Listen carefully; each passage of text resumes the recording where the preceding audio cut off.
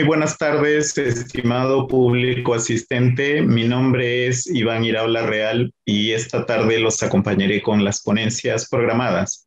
Los invito cordialmente a participar de las presentaciones en nuestro seminario internacional Universidad en tiempos de crisis, eh, realizado por la Universidad de Ciencias y Humanidades, el Grupo Claxo y Red Estrado. El día de hoy, viernes 9, es nuestro último día del seminario internacional eh, y aprovechamos también para hacerles la invitación a formular sus preguntas por el chat del Zoom o por el Facebook Live. Para aperturar las ponencias el día de hoy, nos digna con su presencia el doctor eh, Augusto José eh, Castro Carpio, quien eh, es miembro del Consejo Directivo del Consejo Latinoamericano de Ciencias Sociales CLACSO, presidente del Comité Editorial de la revista Causa Pacha, Sociedad, eh, Medio Ambiente eh, del INTE, de la Pontificia Universidad Católica.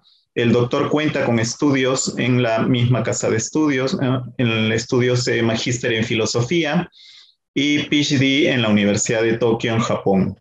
Fue profesor eh, visitante del Departamento de Estudios Latinoamericanos por un periodo de cinco años. Actualmente es profesor principal del Departamento Académico de Ciencias Sociales de la Pontificia Universidad Católica del Perú. Ejerce el cargo del director del Instituto de Ciencias de la Naturaleza, Territorio y Energías Renovables, INTEPUC, es vicepresidente del Comité de Ética de Investigación en Seres Humanos, Animales de la misma Casa de Estudios y además es miembro eh, del directorio del Consejo Latinoamericano de Ciencias Sociales, CLACSO, coordinador de la red de eh, posgrados Ambiente Sociedad de la misma organización. El doctor cuenta con diversas, con amplias publicaciones y bueno, luego de presentarlo, lo dejamos con el uso de la palabra para presentar su ponencia titulada La ética en la educación superior y en la investigación científica. Eh, bienvenido, doctor Augusto eh, Castro. Lo dejamos en el uso de la palabra. Muchas gracias. Muchísimas gracias, este, Iván, y muchas gracias a los organizadores de este evento, en particular a la Universidad de Ciencias y Humanidades, también a Claxo y a todas las instituciones que han colaborado en este seminario sobre el tema de la universidad en tiempos de crisis. Eh, yo voy a presentar una perspectiva ética para comprender la educación superior y para tratar también de comprender el tema eh, de la investigación científica. Eh, no sé si tienen por ahí este, el PPT, por favor. Bueno, este es el tema que se me ha asignado y sobre esto yo quisiera este, comentar algunas ideas. Muchas de las cosas ciertamente eh, las conocen muchas personas. Yo simplemente voy a recordar cosas que son básicas, que son fundamentales, y más aún en esta época que necesitamos reafirmar determinadas características de lo que es la educación superior y lo que es la investigación científica. La siguiente, por favor.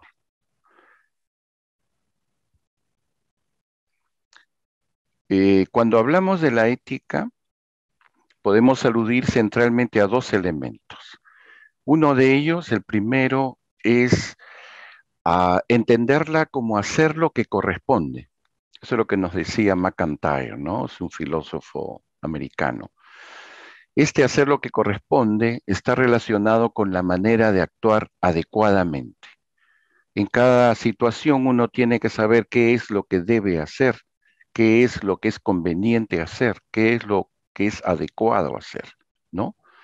Y esto es sumamente importante, hacer lo que corresponde, qué es lo que hay que hacer, qué es lo que se debe hacer en una perspectiva de alguna manera más deontológica. El segundo tema cuando hablamos de ética, porque la ética también lo entraña, es eh, el referido a tener la capacidad de poner límites a nuestras acciones. ¿no? De alguna manera tiene relación con nuestra capacidad de autodominio y el dominio de sí, nuestro dominio de como personas, como sociedad, ¿no? Es de alguna manera esa capacidad de poder determinar hasta dónde puedo ir. Y la ética va por ahí, ¿no? Por eso el viejo Aristóteles hablaba de la ética como hábito, ¿no? Como una característica del comportamiento limitado que no se excede de las cosas. La siguiente, por favor. Desde este horizonte yo quiero plantear dos tesis en esta breve ponencia. La primera, que la ética en relación con la educación superior busca la manera de hacer lo adecuado y lo correcto, es decir, lo que corresponde en este caso. ¿Y qué es lo que corresponde en este caso? Dar una formación de calidad a nuestros estudiantes. Nuestro punto es que la educación superior, si algo la puede caracterizar, es que consiste en una formación de calidad, en una formación de excelencia. Ese es el trabajo que tenemos que hacer. Eso es lo que corresponde hacer. Esa es la conducta ética que nos exige si es que trabajamos en la universidad, en la, en la educación superior. Siguiente, por favor. La segunda tesis, en relación a la investigación, es que la ética coloca límites, coloca criterios, coloca principios, coloca normas al proceso de la construcción del conocimiento y de la búsqueda de la verdad. Nos referimos a la, a la investigación científica. Las pautas éticas de la investigación científica exigen un proceso riguroso para alcanzar el conocimiento. No se puede llegar de cualquier manera al conocimiento de la verdad. Por lo tanto, una conducta ética tiene que mirar la práctica del investigador, también la práctica del investigado y la relación con él, y también la propia investigación, el propio trabajo de investigación. Entonces la ética tiene que ver con todos estos aspectos. Siguiente, por favor. Entonces, pasemos al primer tema la educación superior como formación en calidad y en excelencia. ¿Qué significa que la educación superior es una formación de calidad, una formación en la excelencia?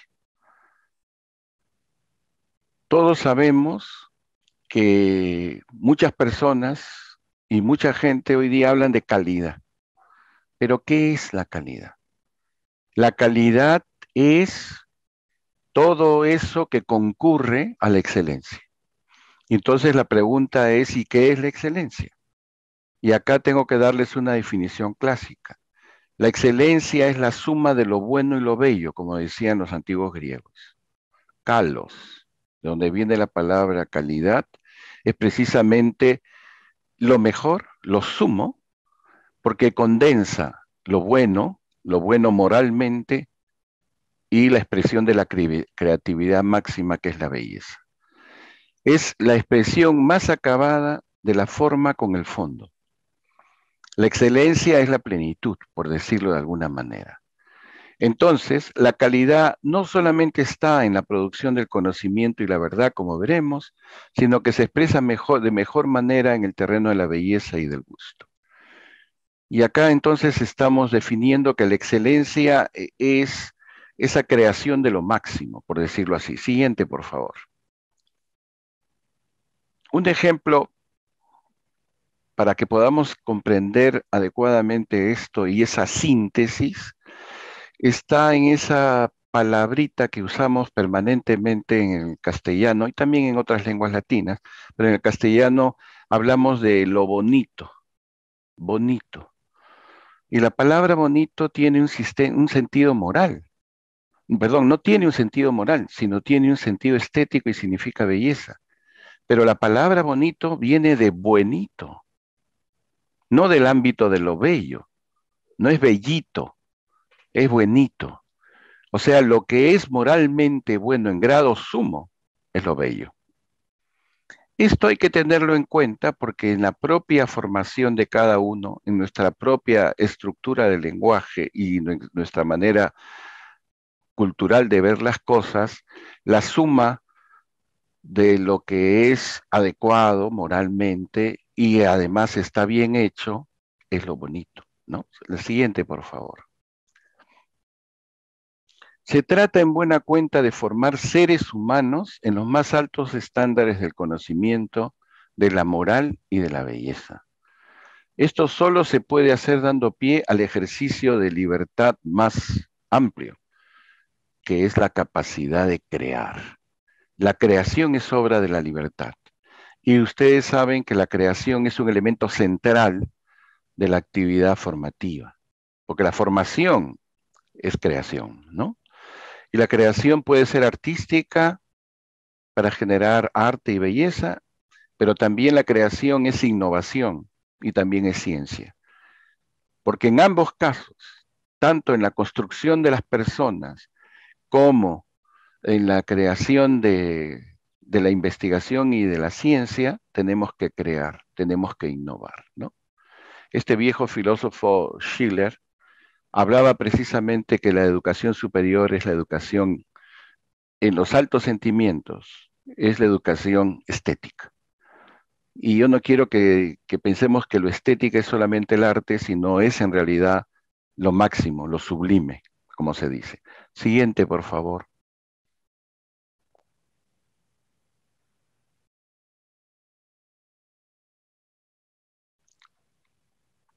Siguiente, por favor. Pongamos un ejemplo, ya no un ejemplo digamos, más teórico, sino un ejemplo práctico de una sociedad. Eh, cuando en los años 60 la producción japonesa no brillaba precisamente por su calidad, los japoneses hicieron caso de las críticas de un grupo de especialistas de otros países para mejorar su producción y por supuesto tomaron las medidas necesarias. Se instituyó un mes dedicado a la calidad nacional, se dieron premios y beneficios y se crearon masivamente los círculos de calidad. Hacia 1982 existían alrededor de 10 millones de obreros, obreros, trabajadores, que participaban en círculos de calidad y discutían democráticamente cómo mejorar los bienes que producían. Ahora diremos una digresión, ¿no? Lo curioso es que la población laboral y obrera de Japón estaba también alrededor de los 10 millones. Es decir, toda la sociedad, toda la fuerza de los trabajadores japoneses participó en perfeccionar la calidad de sus productos. Yo creo que eso explica de alguna manera esa calidad, esa excelencia, es ese refinamiento en la producción de los autos, en la producción de las cámaras de fotografía, en la producción de las cosas que hacen los japoneses. Sigamos, por favor. La siguiente, por favor. pero la calidad de los productos japoneses no solo se explica por sus destrezas técnicas y sus esfuerzos para mejorar los productos, con la opinión de los trabajadores. Hicieron otra cosa más. Los japoneses decidieron vender sus productos a los países y sectores sociales que más recursos tenían y se encontraron que esos sectores y países eran los más exigentes en cuanto a gusto y calidad. Y entonces los japoneses no se quedaron atrás, asimilaron esos gustos y exigencias y desarrollaron aún más su refinado gusto estético. O sea, llegaron a niveles muy grandes para poder de alguna manera satisfacer el gusto de los clientes. Pero no solamente eso, sino en un momento determinado los japoneses dictarían y dictan el sentido muchas veces de lo que es este, el gusto y la calidad de determinados productos fue la apropiación de la ciencia occidental, pero también fue la capacidad de producir de acuerdo a las exigencias y gustos de los pueblos. Muchos países han seguido este modelo japonés. China y Corea han seguido esa perspectiva. ¿Qué quiero decir con todo esto? Si queremos educar y queremos formar, tenemos que formar a nuestros jóvenes en los más altos estándares de calidad, de excelencia, de gusto, de refinamiento. ¿Cuál es la tarea ética de los profesores universitarios y de la universidad? Formar gente en los más altos niveles de calidad humana. Esa es la primera cuestión. Siguiente, por favor. Siguiente, por favor. Ya lo acabo de decir, la responsabilidad ética de la educación superior es formar personas en estos criterios y en estos valores, ¿no? Este es el primer punto. El segundo punto es el relativo a lo que significa también la educación superior y que está también en el pedido que me han hecho que reflexione, que es sobre la investigación científica. Siguiente, por favor.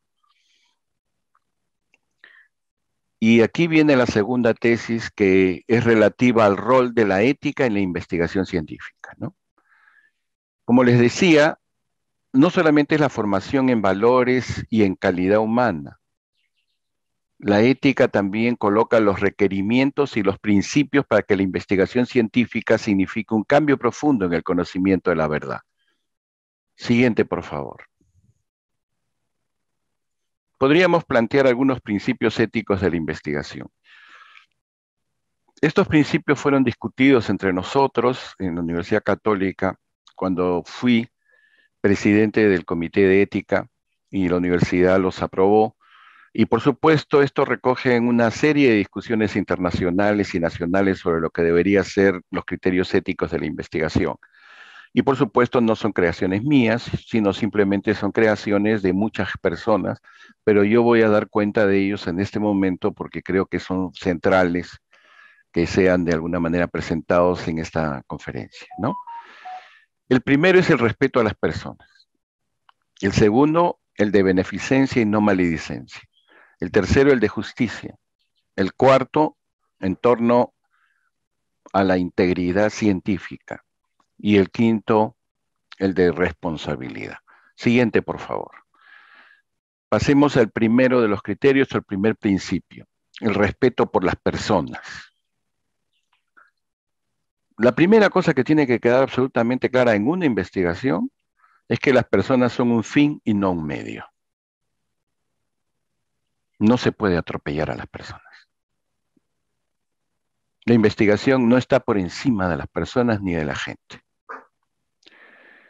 La segunda cosa que tenemos que señalar es que las personas no son objetos ni instrumentos, no son cosas, no son manipulables, son personas que tienen las mismas consideraciones que el investigador y las mismas características.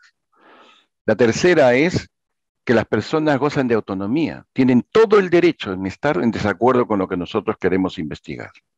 Y nosotros no podemos decir otra cosa que aceptar su negativa si es que no quieren ser investigados.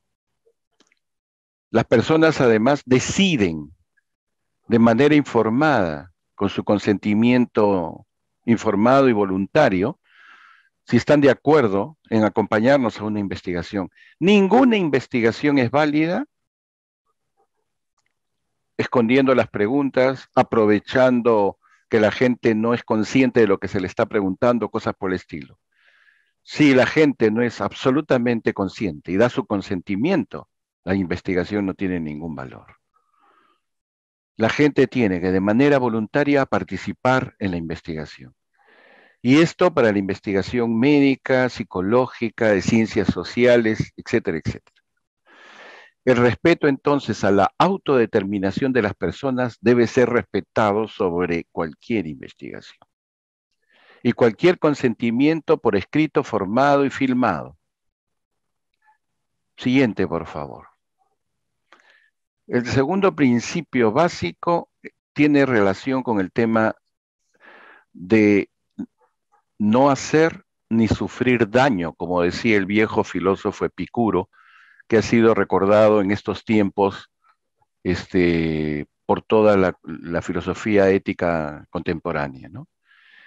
Una investigación no puede dañar directa o indirectamente a nadie. Al contrario, la investigación tiene que ser beneficiosa producir beneficencia para, la gente. Esto es sumamente importante. Entonces uno tiene que calibrar y tiene que pensar en lo que va a hacer. Y, y el principio de beneficencia significa que la gente con una investigación va a estar mejor, va a ser beneficiosa. Y el de no, de no maledicencia quiere decir que no va a sufrir daño, Esto hay que tenerlo sumamente claro, sobre todo en investigaciones médicas, psicológicas, antropológicas, lingüísticas, sociales, etcétera, o técnicas, ¿no? Siguiente principio, por favor. Es el principio de justicia. Aquí tenemos que ser absolutamente prudentes, equilibrados en ese sentido. Tenemos que evitar, si es que somos investigadores, los, nuestros sesgos, nuestros prejuicios, nuestra manera de pensar. Tenemos que hacer todo el esfuerzo de no proyectar nuestras ideologías o cosas por el estilo sobre la investigación y sobre los investigados. Y eso es un principio necesario y fundamental. Aquí, a pesar de que la objetividad pura no existe, el esfuerzo por ser lo más objetivos posibles y no contaminar la investigación con nuestras preocupaciones es fundamental. Ya hemos tenido casos en las investigaciones sobre las vacunas de cómo los sesgos, los intereses, los prejuicios, etcétera, destruyen una investigación. Una investigación no puede, no puede estar al vaivén de la acción política. El investigador buscará la equidad y la justicia en el proceso de investigación sin parcialización de ningún tipo. Y por supuesto, el investigador no puede negar los derechos que tiene el investigado, de saber qué cosa es lo que se está haciendo, de saber a dónde va, etcétera, etcétera, ¿no? Esto es una cuestión fundamental. Siguiente, por favor. El principio de integridad científica. Esto va en relación a la propia matriz de la investigación. Tenemos que ser honrados con la data. No podemos cambiarla. No podemos hacer una investigación que rompe y decir que como la investigación que hemos hecho tira abajo nuestras hipótesis, entonces no sirve. Tenemos que ser conscientes que lo que descubrimos es lo que hemos encontrado, no lo que queríamos encontrar. Y tenemos que rectificar. No podemos cambiar la data para acomodarla a nuestros intereses. La segunda cuestión ahí es la confidencialidad en relación con las fuentes. Si alguien acepta exponer algún problema y yo lo entrevisto y es sobre cómo va funcionando eh, la empresa, la comunidad, etcétera, y la persona en confianza me dice que la autoridad no se porta bien, etcétera, sería yo una persona totalmente inmoral, poco ética, si esto se lo digo al jefe de la empresa, al gerente de la empresa o al jefe de la comunidad. Tiene que haber confidencialidad. La investigación no puede salir por eso es importante y hay una serie de protocolos en el sentido de que los que son entrevistados no pueden aparecer con sus nombres literales. De la misma manera que un psiquiatra hace un, eh, hace un trabajo con el paciente, no puede desde ningún punto de vista decir lo que el paciente tiene. Eso es, eso es una responsabilidad de confidencialidad.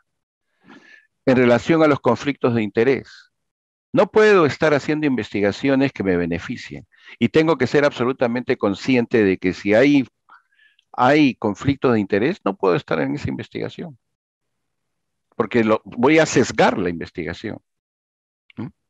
Entonces, en la seriedad, en la honestidad y en la responsabilidad de aceptar los hallazgos, mucha gente no acepta los hallazgos y quiere cambiar la investigación, ¿no? Recuerdo que alguna vez hicimos un trabajo en ciencias sociales para investigar qué pensaba la población de una mina. Hicimos el trabajo, recogimos los testimonios y antes de acabar el proyecto, la mina nos preguntó, ¿y qué piensa la gente? Y claro, nosotros honradamente dijimos, bueno, lo que tenemos como información hasta ahora, pero hay que pulirlo más, es que la gente no los quiere, ¿no? Ese día nos, quebraron la investigación, o sea, nos cortaron las fuentes, despidieron al equipo, etcétera, etcétera. Hay que aceptar los resultados, porque la investigación no te va a decir lo que tú quieres este, escuchar. Es como que ustedes vayan al laboratorio, se hacen una, hacen es una prueba de sangre y sale que tienen una enfermedad.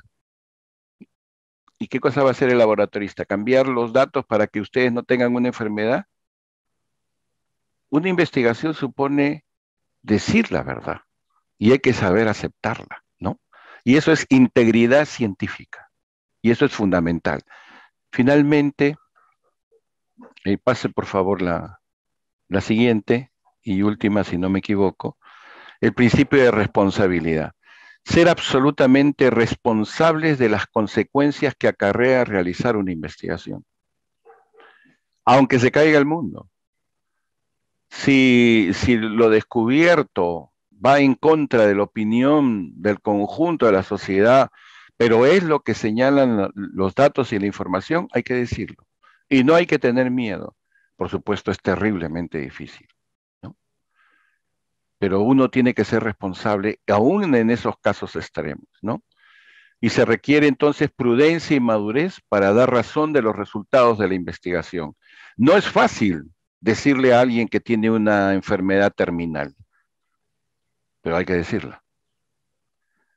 No es fácil decirle a la sociedad que, que tiene terribles problemas. ¿Por qué muchas veces no se aceptan los, los resultados de las investigaciones de ciencias sociales.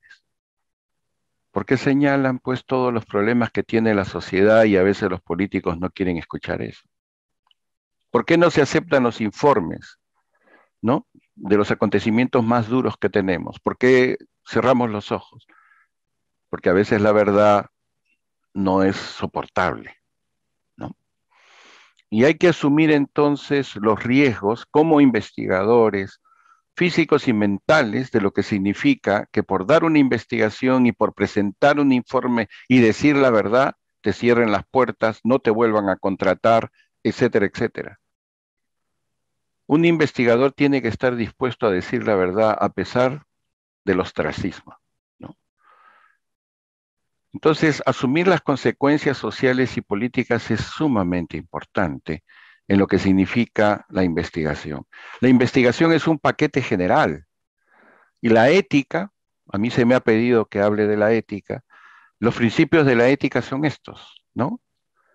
Respetar a la gente, beneficiarla y no dañarla, respetar los puntos de vista de la gente con, con todos sus derechos en el principio de justicia, hacer una investigación honrada, seria, manejando los instrumentos adecuadamente, sin turbiar la investigación y asumir los resultados finales con responsabilidad. Esos son los principios de la ética de la investigación, que rigen en general para toda investigación que se haga y en todo ámbito, sea de ciencias o sea de humanidades. Y eso es lo que yo he querido traerles en este momento. En nuestro país y en América Latina, efectivamente, necesitamos investigación, pero más que plata, lo que necesitamos son criterios y tener claro que la investigación es parte de esa formación en calidad, en la excelencia que necesitamos en la educación superior. Muchas gracias. Muy bien, muchas gracias, eh, doctor Augusto Castro. Muy interesante su ponencia respecto a aspectos éticos, tanto en la formación de profesionales, tanto a nivel universitario, y también la importancia de, la, de lo ético en el campo de la investigación. ¿no? Hay muchos aspectos por los cuales reflexionar. Y bueno, nuevamente reitero, agradecemos su participación. Y por cuestiones de tiempo vamos a continuar ya con la siguiente ponencia. Sí, Iván, una cosa pequeñita. Agradezco la presentación que me hiciste. Fui fundador del INTE y director durante 10 años, hasta el año pasado, y fui presidente y fundador del Comité de Ética, pero ya no lo soy, porque me, dijiste que podía, que sería. Todavía no. Suficiente. Gracias. Ok, doctor, muy amable. Muchas gracias, muchas gracias. Muy bien, habiendo ya escuchado al doctor, eh, al doctor Augusto Castro. Entonces, a continuación, vamos a, me honra presentar al doctor eh, Miguel Gerardo Inga Arias, quien es decano de la Facultad de Educación de la Universidad Nacional Mayor de San Marcos es doctor en educación, magíster en lingüística y licenciado en educación con mención en lengua y literatura por la misma casa de estudios. Cuenta con estudios también especializados en gerencia estratégica en centros educativos por la Universidad Nacional Enrique Guzmán y Valle La Cantuta. Es docente e investigador con el mérito científico 2010 Ha publicado diversos artículos en la revista también de la Facultad de Educación y en este momento me honra presentar también al doctor Miguel Inga y lo dejamos en el uso de la palabra para presentar su ponencia titulada El enfoque hegemónico acerca de las competencias en la universidad actual. Eh, bienvenido, doctor. Muy buenas tardes. Tiene el uso de la palabra. Muchas gracias, Iván. Gracias a todos los eh, distinguidos representantes de la Universidad de Ciencias y Humanidades y de Claxo en este evento de este seminario internacional de universidad en tiempo de crisis. Y a cada uno de los que nos escuchan en este momento. Bueno, respecto al tema, nosotros lo que podemos eh, decir es lo siguiente, que el curso de los acontecimientos históricos nos ha revelado que somos parte de un mundo globalizado. Nuestras relaciones sociales, por consiguiente, tanto como las organizaciones y las relaciones con el medio ambiente, repercuten en cada uno de nuestros países, en cada una de nuestras regiones. Esto debiera, por lo tanto, tomar una mayor conciencia de la diversidad intercultural, étnica, eh, de organizaciones sociales, de estilos de gobierno, etc. Sabemos entonces, o debiéramos ser más conscientes entonces, de que esta sociedad mundial engloba, como comentábamos, realidades, cosmovisiones diferentes, que nos deberían permitirnos valorarnos en esa diversidad en comprendernos, en valorar los saberes ancestrales como de cada una de las culturas que interactúan en el mundo. Esto debiera, por lo tanto, generar una cultura de paz, con justicia y libertad. Porque si nos sabemos diferente, si somos conscientes de ello, entonces tenemos que establecer los diálogos pertinentes para valorar lo que nosotros aportamos y lo que nosotros recibimos. Si esto es así, y entendemos los maestros que la educación es el proceso permanente de la construcción del ser humano, que en este periodo histórico le llamamos ciudadanía, porque nosotros permanentemente estamos en ese proceso de cada vez ser más y mejores seres humanos.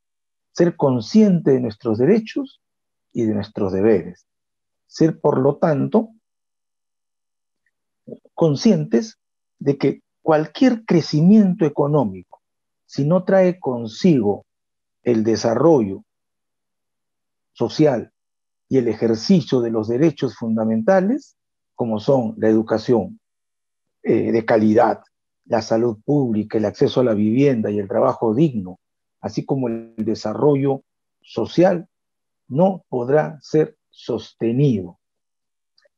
Dentro de ese marco, entonces, si sabemos que nuestra realidad mundial es diversa y está en constante producción de conocimientos, hace cada vez más urgente salir de la simple transmisión de información, de esas clases magistrales que solamente van en una dirección como si hubiera un saber y los demás tendríamos que simplemente ir incorporando esos saberes sin tener en cuenta que lo que tenemos que hacer ahora, mucho más que antes, darle el valor agregado, el talento, las destrezas cognitivas. Es decir, pasar a la sociedad del conocimiento. Solamente si nosotros le damos ese valor agregado, vamos, por lo tanto, a repensar, vamos a analizar, vamos a producir nuevos conocimientos, como también vamos a lograr que los recursos puedan ser transformados para pasar a un proceso de inventiva, de innovación y de patentes.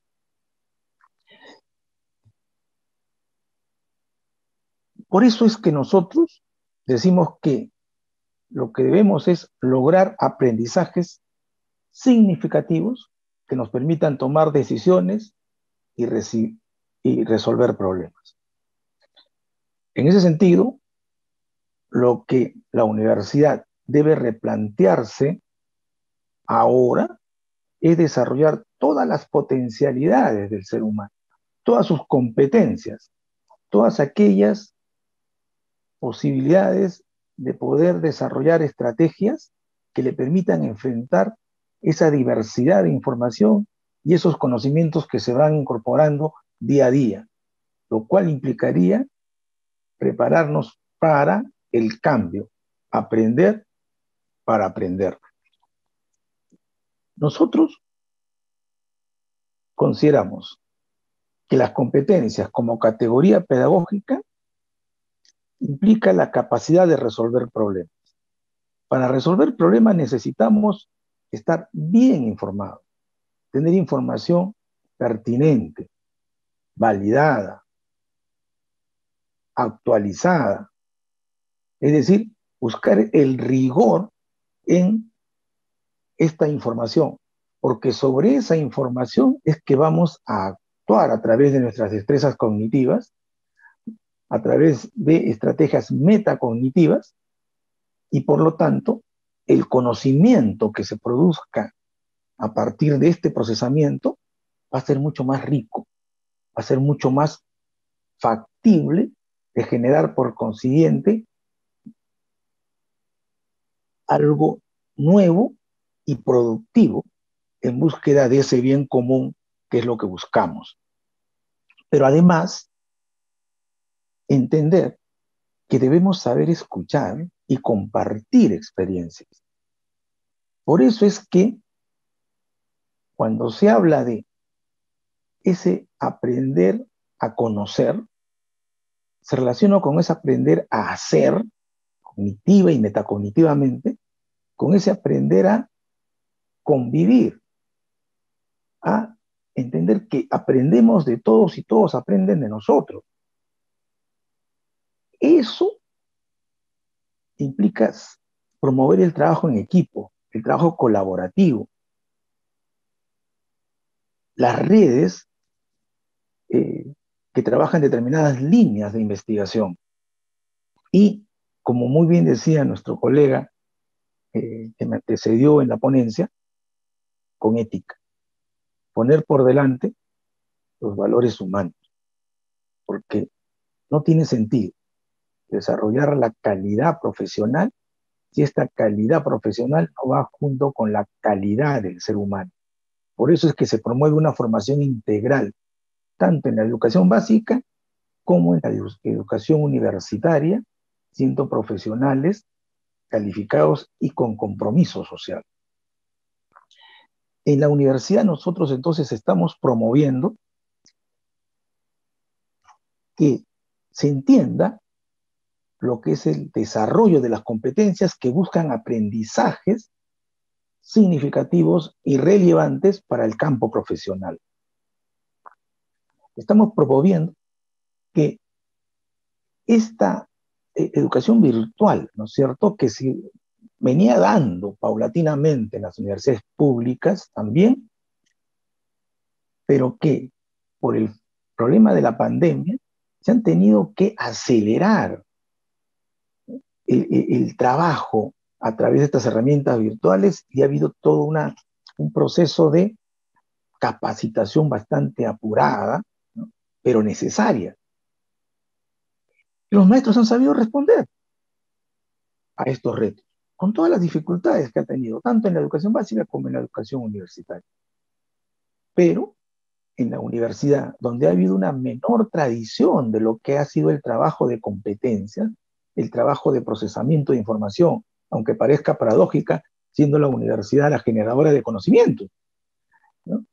Pero donde ha habido quizá un poco de mayor retraso, ¿qué ha sucedido? Que cuando se estaba en un proceso importante de capacitación en respecto a las competencias, al producirse esta capacitación acelerada de las herramientas virtuales, ha generado una cierta confusión y no se termina de entender que estas herramientas virtuales son importantes, pero estarán importantes en la medida que respondan al propósito de la educación, que es la construcción de la humanidad en cualquier campo de lo que es el desempeño del ser humano, ya sea como técnico, como, como involucrado en la, en la producción, como comerciante, como profesional, en cualquier espacio de la vida social, en la familia, en el barrio, en la región, en, el gremio, en el colegio de profesores, en, etcétera. ¿No es cierto? ¿Ya? Entonces, e, esa, e, esa situación le hemos ido explicando mejor en el sentido que las competencias profesionales, las competencias investigativas y las competencias eh, de, niveles de especialización que son más complejas, se van, tienen que levantar y sostener a partir de las competencias básicas que se promueven justamente en la educación básica. Y por eso es que de alguna manera en las universidades públicas, particularmente en San Marcos, se ha venido trabajando los estudios generales como ese puente necesario de afirmar las competencias básicas que sirvan de soporte para desarrollar y potenciar las competencias profesionales y las competencias investigativas. En esa línea es que nosotros promovemos estrategias que ayuden a desarrollar esas competencias para esos logros eh, necesarios, como es el aprendizaje basado en problemas, el aprendizaje basado en proyectos, el free estudio de casos, etc. Por lo tanto, es un reto para la universidad actualmente promover un currículum que busque aprendizajes significativos a partir del desarrollo de las competencias. Y en esa línea estamos. Y por otro lado, por otro lado, nosotros sabemos también que se nos presentan unos nuevos retos frente a una situación cambiante y frente a una nueva realidad en la cual nos estamos moviendo.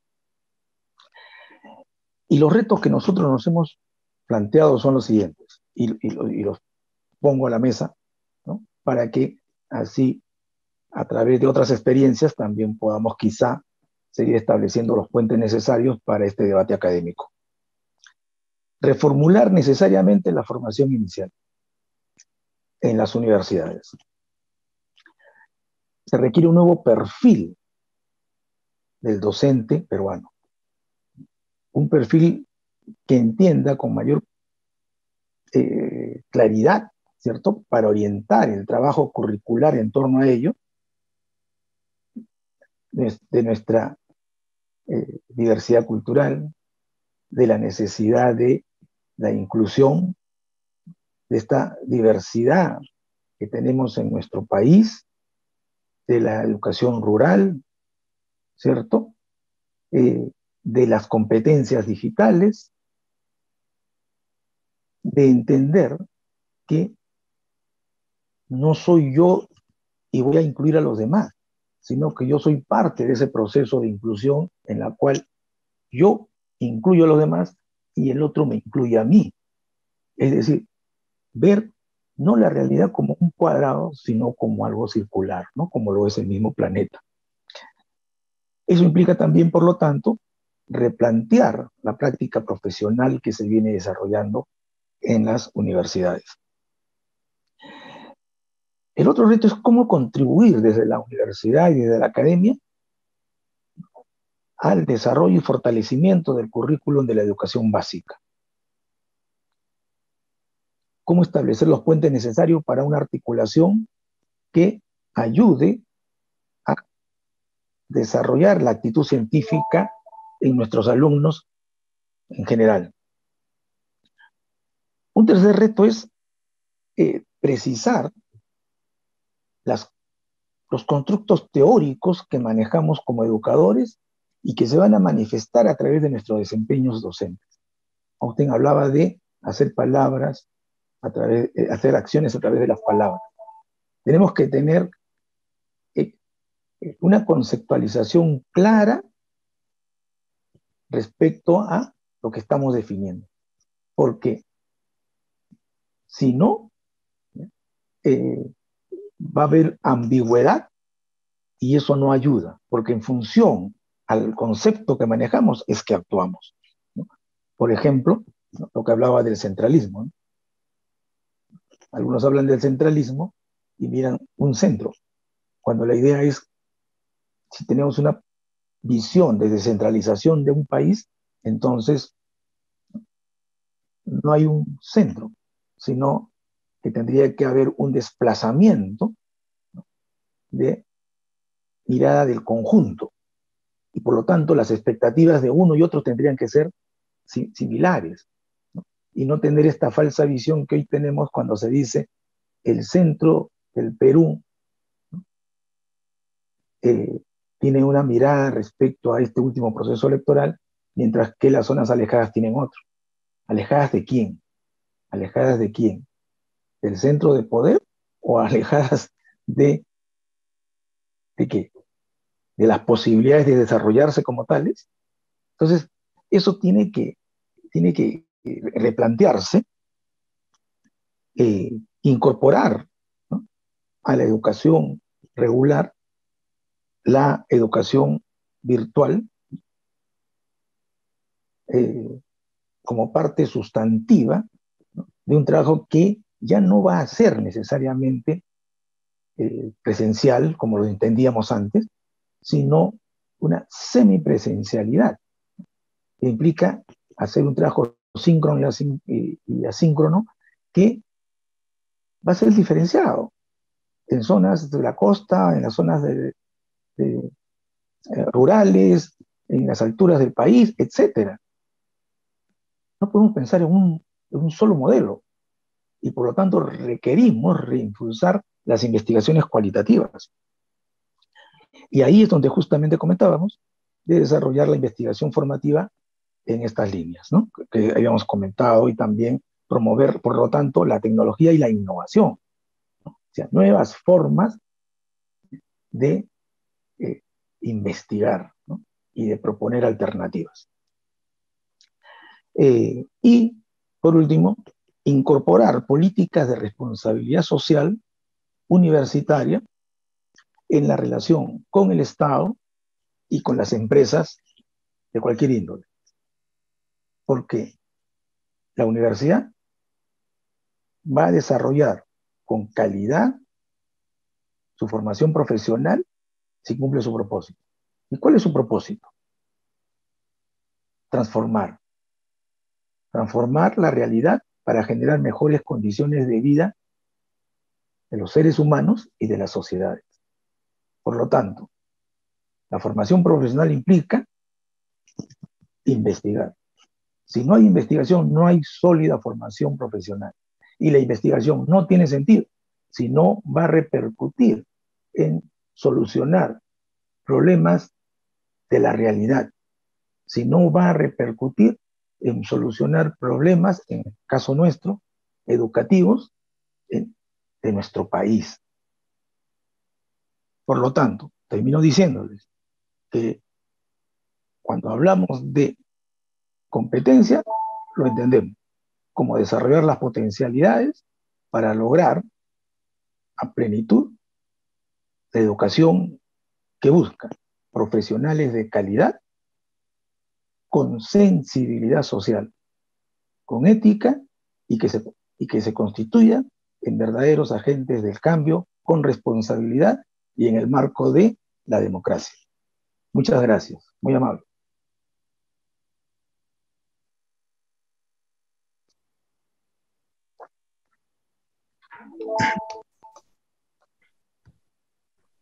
Muy amable, doctor eh, Miguel Inga. Y bueno, ya en esta oportunidad para pasar a la siguiente sección, mm, bueno, disponemos de tiempo para hacer algunas consultas y en este caso tenemos una consulta también para el doctor eh, Castro y también para usted, ¿no? Eh, bueno, empezaríamos también con una consulta para usted, doctor Miguel Inga. La pregunta es la siguiente, ¿no? En el contexto social post-pandémico, ¿cuáles serían las competencias de los docentes universitarios y de los futuros profesionales? Bueno, eh, definitivamente las, competencias, siempre van a estar vigentes las competencias comunicativas, las competencias sociales, las competencias cognitivas.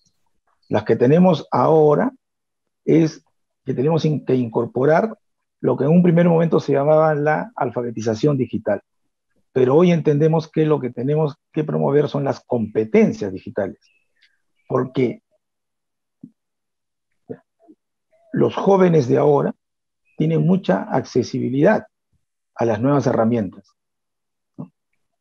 Los profesores necesitamos tenerlas también. ¿Por qué? Porque los jóvenes reciben una serie de informaciones, lo vemos también en las redes sociales, pero que no dan garantía de credibilidad, es decir, no tienen soportes referenciales. No tienen soportes referenciales eh, y lo que necesitan es saber recoger información, clasificarla y ordenarla.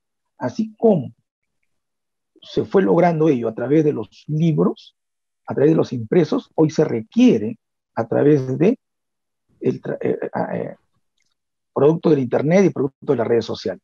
Por lo tanto, los docentes tenemos que incorporar esas, eh, esas herramientas virtuales para poder promover en nuestros alumnos esas competencias digitales, que es saber recoger información, saber clasificarlas y saber utilizarlas desde el punto de vista pertinente para generar conocimientos que permitan seguir avanzando en el desarrollo humano y social. Muchas gracias. Eh, yo les pediría, si fueran tan amables, solamente por lo que tengo otro compromiso, ¿ya? Pero para cualquier eventualidad estamos ahí. Les reitero el agradecimiento. Muchas gracias a todos. Y cuentan con, mi, eh, con, mis redes y, y los correos respectivos para cualquier comunicación. Muy amables, un abrazo y gracias por compartir esta mesa.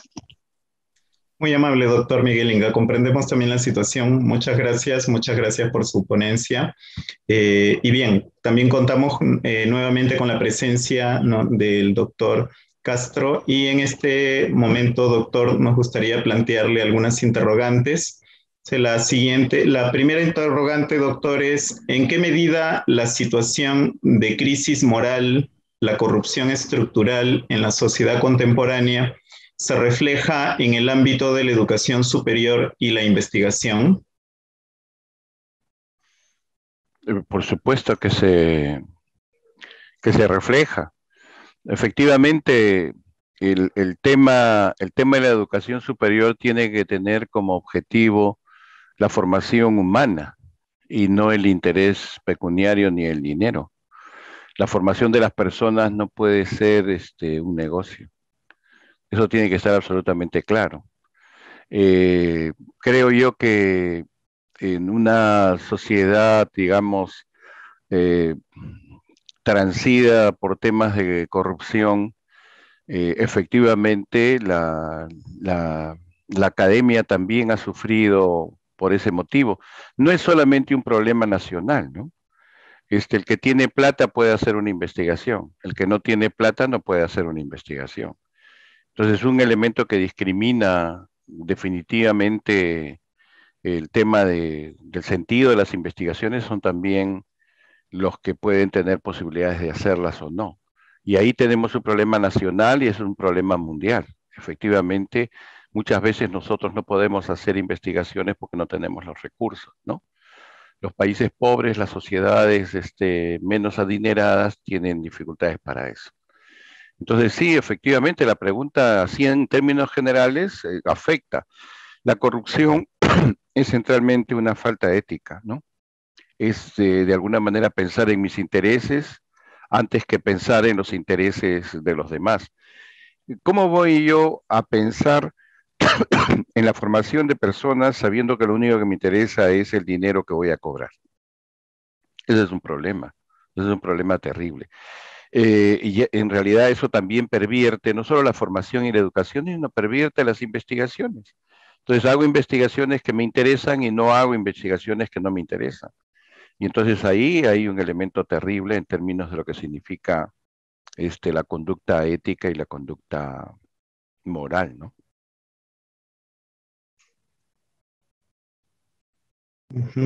Muy bien, doctor, muchas gracias por su participación. Bueno, eh, ya para ir cerrando esta sección, entonces agradecemos al doctor Augusto Castro. Muchas gracias por su presentación. y bueno, como conclusión, muchas gracias, doctor. Muy amable. Saludos, Levi. Ya nos vemos.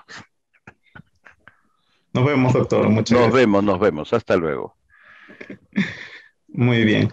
Eh, ya a modo de conclusión, entonces podemos ir comprendiendo que los aspectos éticos en el campo de la educación superior y en el campo de la educación eh, de la investigación universitaria son bastante relevantes precisamente por cuestiones de eh, ver a las personas como tales, no como personas, no como medios de investigación, y también en torno a la conclusión respecto al enfoque hegemónico acerca de las competencias en la universidad actual, comprendemos que también hay una necesidad de articular tanto estos aspectos éticos ¿no? que se han planteado en la ponencia y también ir enfocando lo que vienen a ser las propuestas universitarias hacia, las, eh, hacia eh, lo, que vienen a ser diversos aspectos, tanto de eh, inclusividad, tanto de interculturalidad, etcétera, ¿no? muy bien, en esta oportunidad también, ya para ir haciendo, para ir cerrando esta sesión, vamos a dejar en el uso de la palabra a la magíster Doris Albines, quien va a conducir a partir de este momento la sesión de nuestro seminario eh, internacional. Dejo en el uso de la palabra a la magíster Doris Albines. Muchas gracias, profesor Iván. Saludar a todos los asistentes que se acaban de incorporar a esta conferencia eh, como parte de nuestro seminario internacional La Universidad en tiempo de crisis.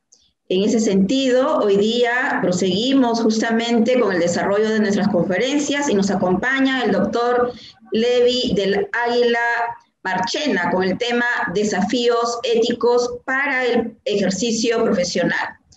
Nuestro ponente es doctor en filosofía por la Pontificia Universidad Católica del Perú y la Universidad de Barcelona. Es magíster también en filosofía y sociología por la Pontificia Universidad Católica del Perú, con numerosas ponencias y publicaciones nacionales e internacionales en filosofía política y ética aplicada.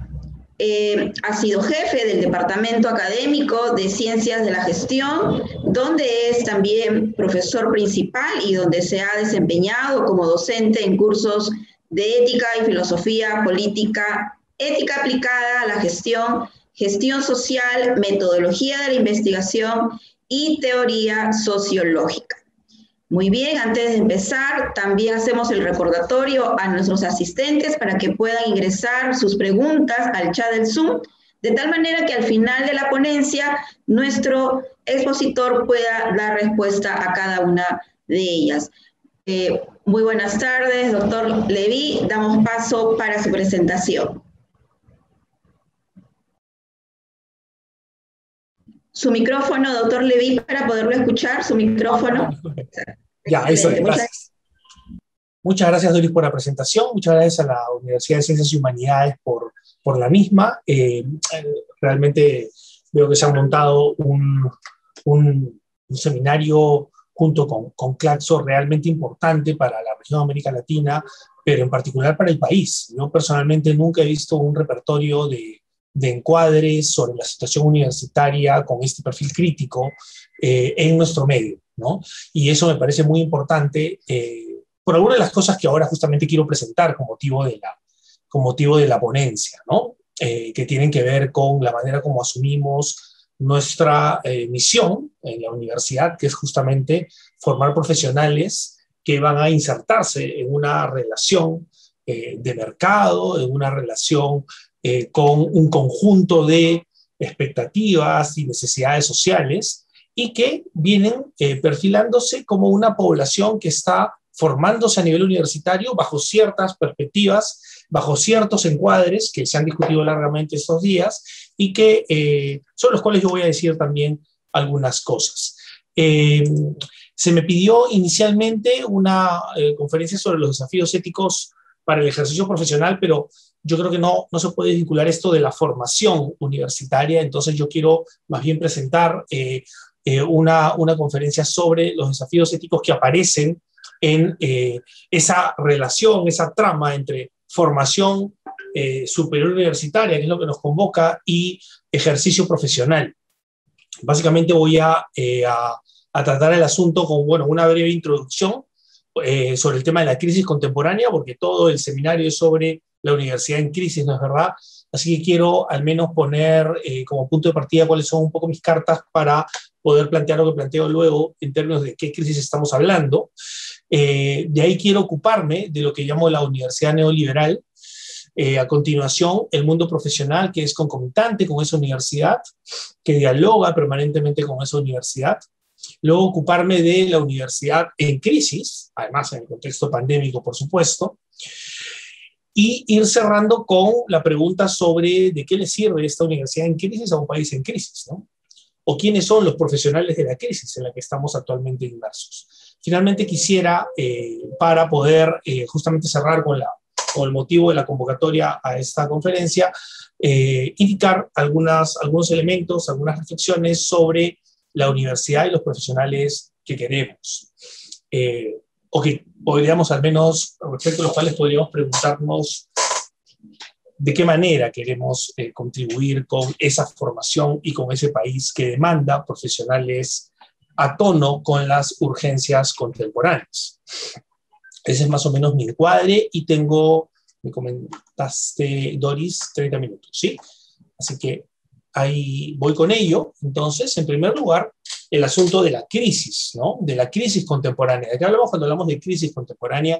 Yo quisiera enmarcar esto dentro del contexto de los modelos de desarrollo neoliberal, que tampoco es un solo modelo, hay que siempre estar atentos a la pluralización de lo que son los periodos históricos. No es lo mismo el neoliberalismo de Thatcher que el neoliberalismo de Fujimori y herederos, ¿no? Son realidades sin duda distintas, con una serie de eh, determinaciones eh, que hay que saber reconocer en su especificidad, pero digamos, gruesamente, tenemos un momento del desarrollo capitalista, que algunos han llamado 3.0, luego 4.0, eh, que tiene una serie de características estrechamente asociadas a una radical privatización de la vida social en función de el lucro capitalista.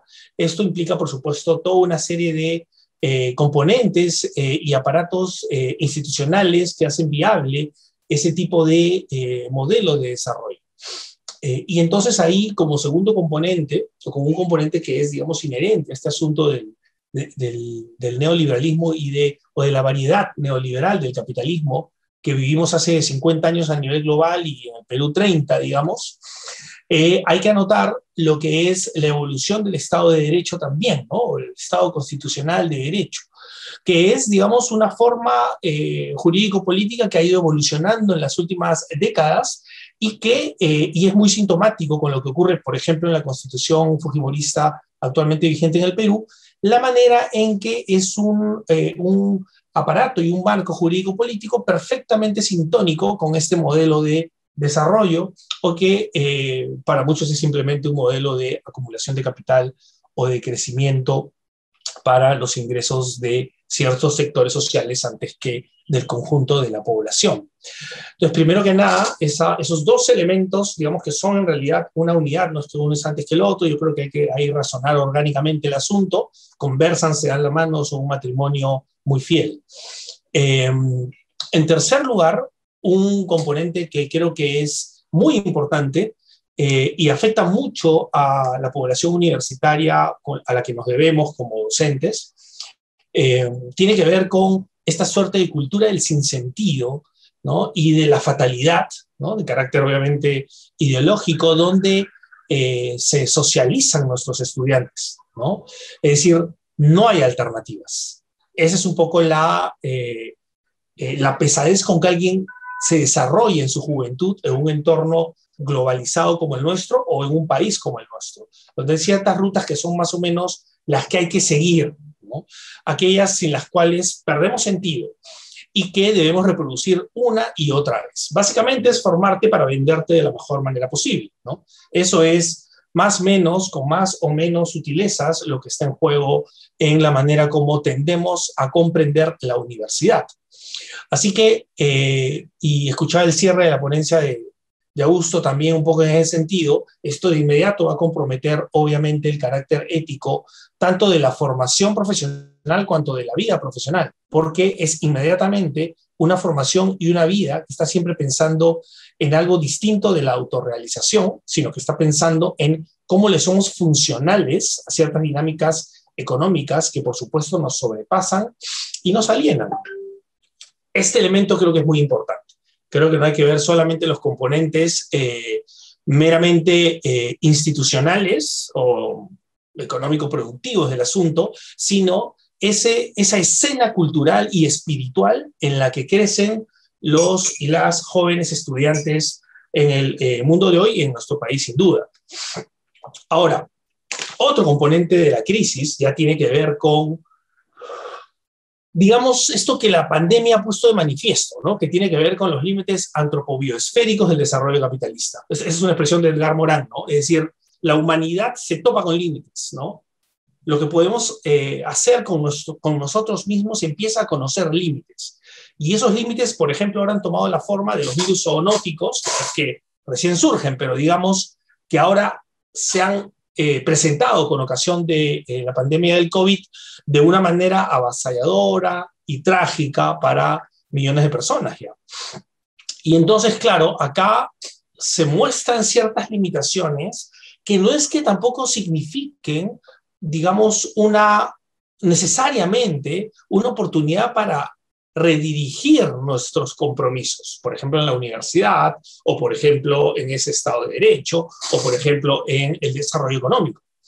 Eh, no necesariamente, es un llamado de atención, es una alerta, ¿no?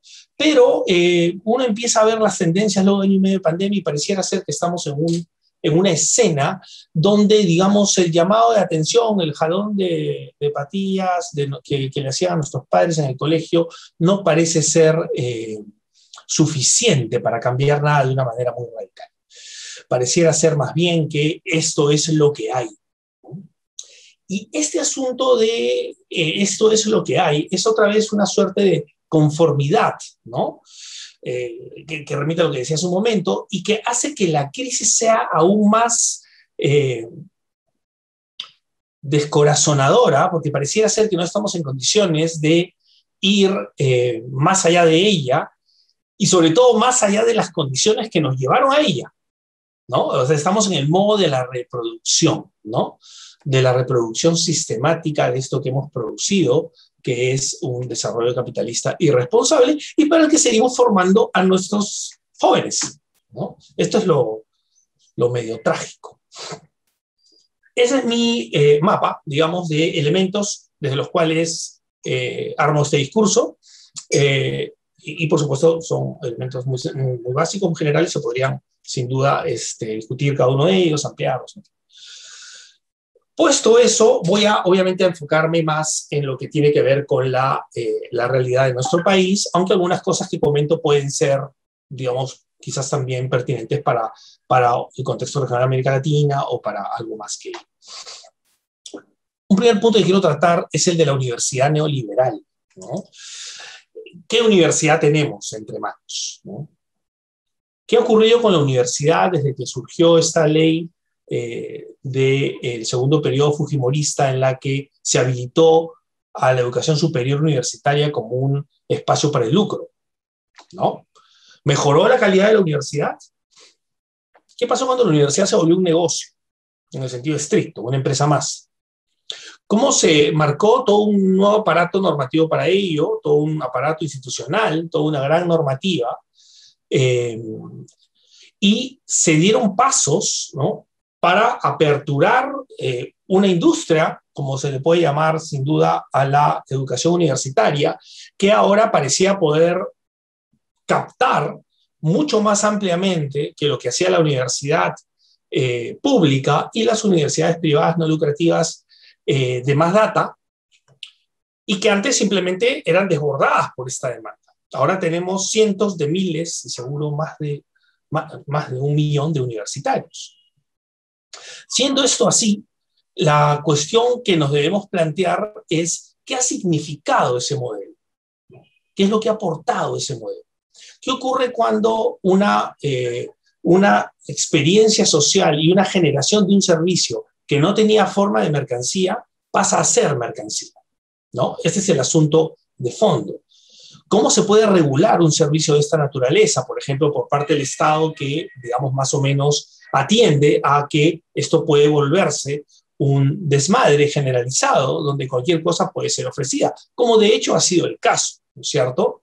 En los últimos años, la SUNEDU ha estado más bien intentando contener ese desmadre eh, con una serie de conflictos a los que me referiré en un momento. Un elemento que aquí aparece como un elemento, digamos, que es algo así como, eh, como el, el elemento garante, así, ¿no? Como en la figura de Vargas Llosa el garante. Un elemento que aquí aparece es el elemento de la calidad, ¿no? Esta palabrita neoliberal que es, eh, digamos, eh, casi es como, como la Eucaristía para el neoliberalismo, ¿no? Cuando aparece la calidad, ¿no es cierto? El discurso de la calidad, entonces uno se allana, ¿no? Y santifica los negocios. ¿Qué implica esto de la calidad? ¿Cómo se mide esa calidad? ¿Tenemos acaso mejores profesionales que egresan de esas universidades lucrativas que lo que teníamos en las universidades públicas o no lucrativas antes de? ¿Qué pasa con aquellas otras universidades no lucrativas, públicas o, privadas, que han seguido compitiendo ahora con estas nuevas universidades? ¿Cómo se ha afectado la calidad de estas otras universidades? Es decir, cómo se han visto impactadas por la competencia de estos negocios. La misma experiencia de la Universidad de Ciencias y Humanidades es muy reveladora al respecto. ¿no? Está en una situación en la que tiene una competencia muy marcada de universidades empresas frente a esta que es una universidad más bien no lucrativa. La cuestión de la calidad entonces resulta como que un lugar muy importante y muy decisivo y es importante eh, justamente eh, ocuparse de desmontar ese concepto, ¿no?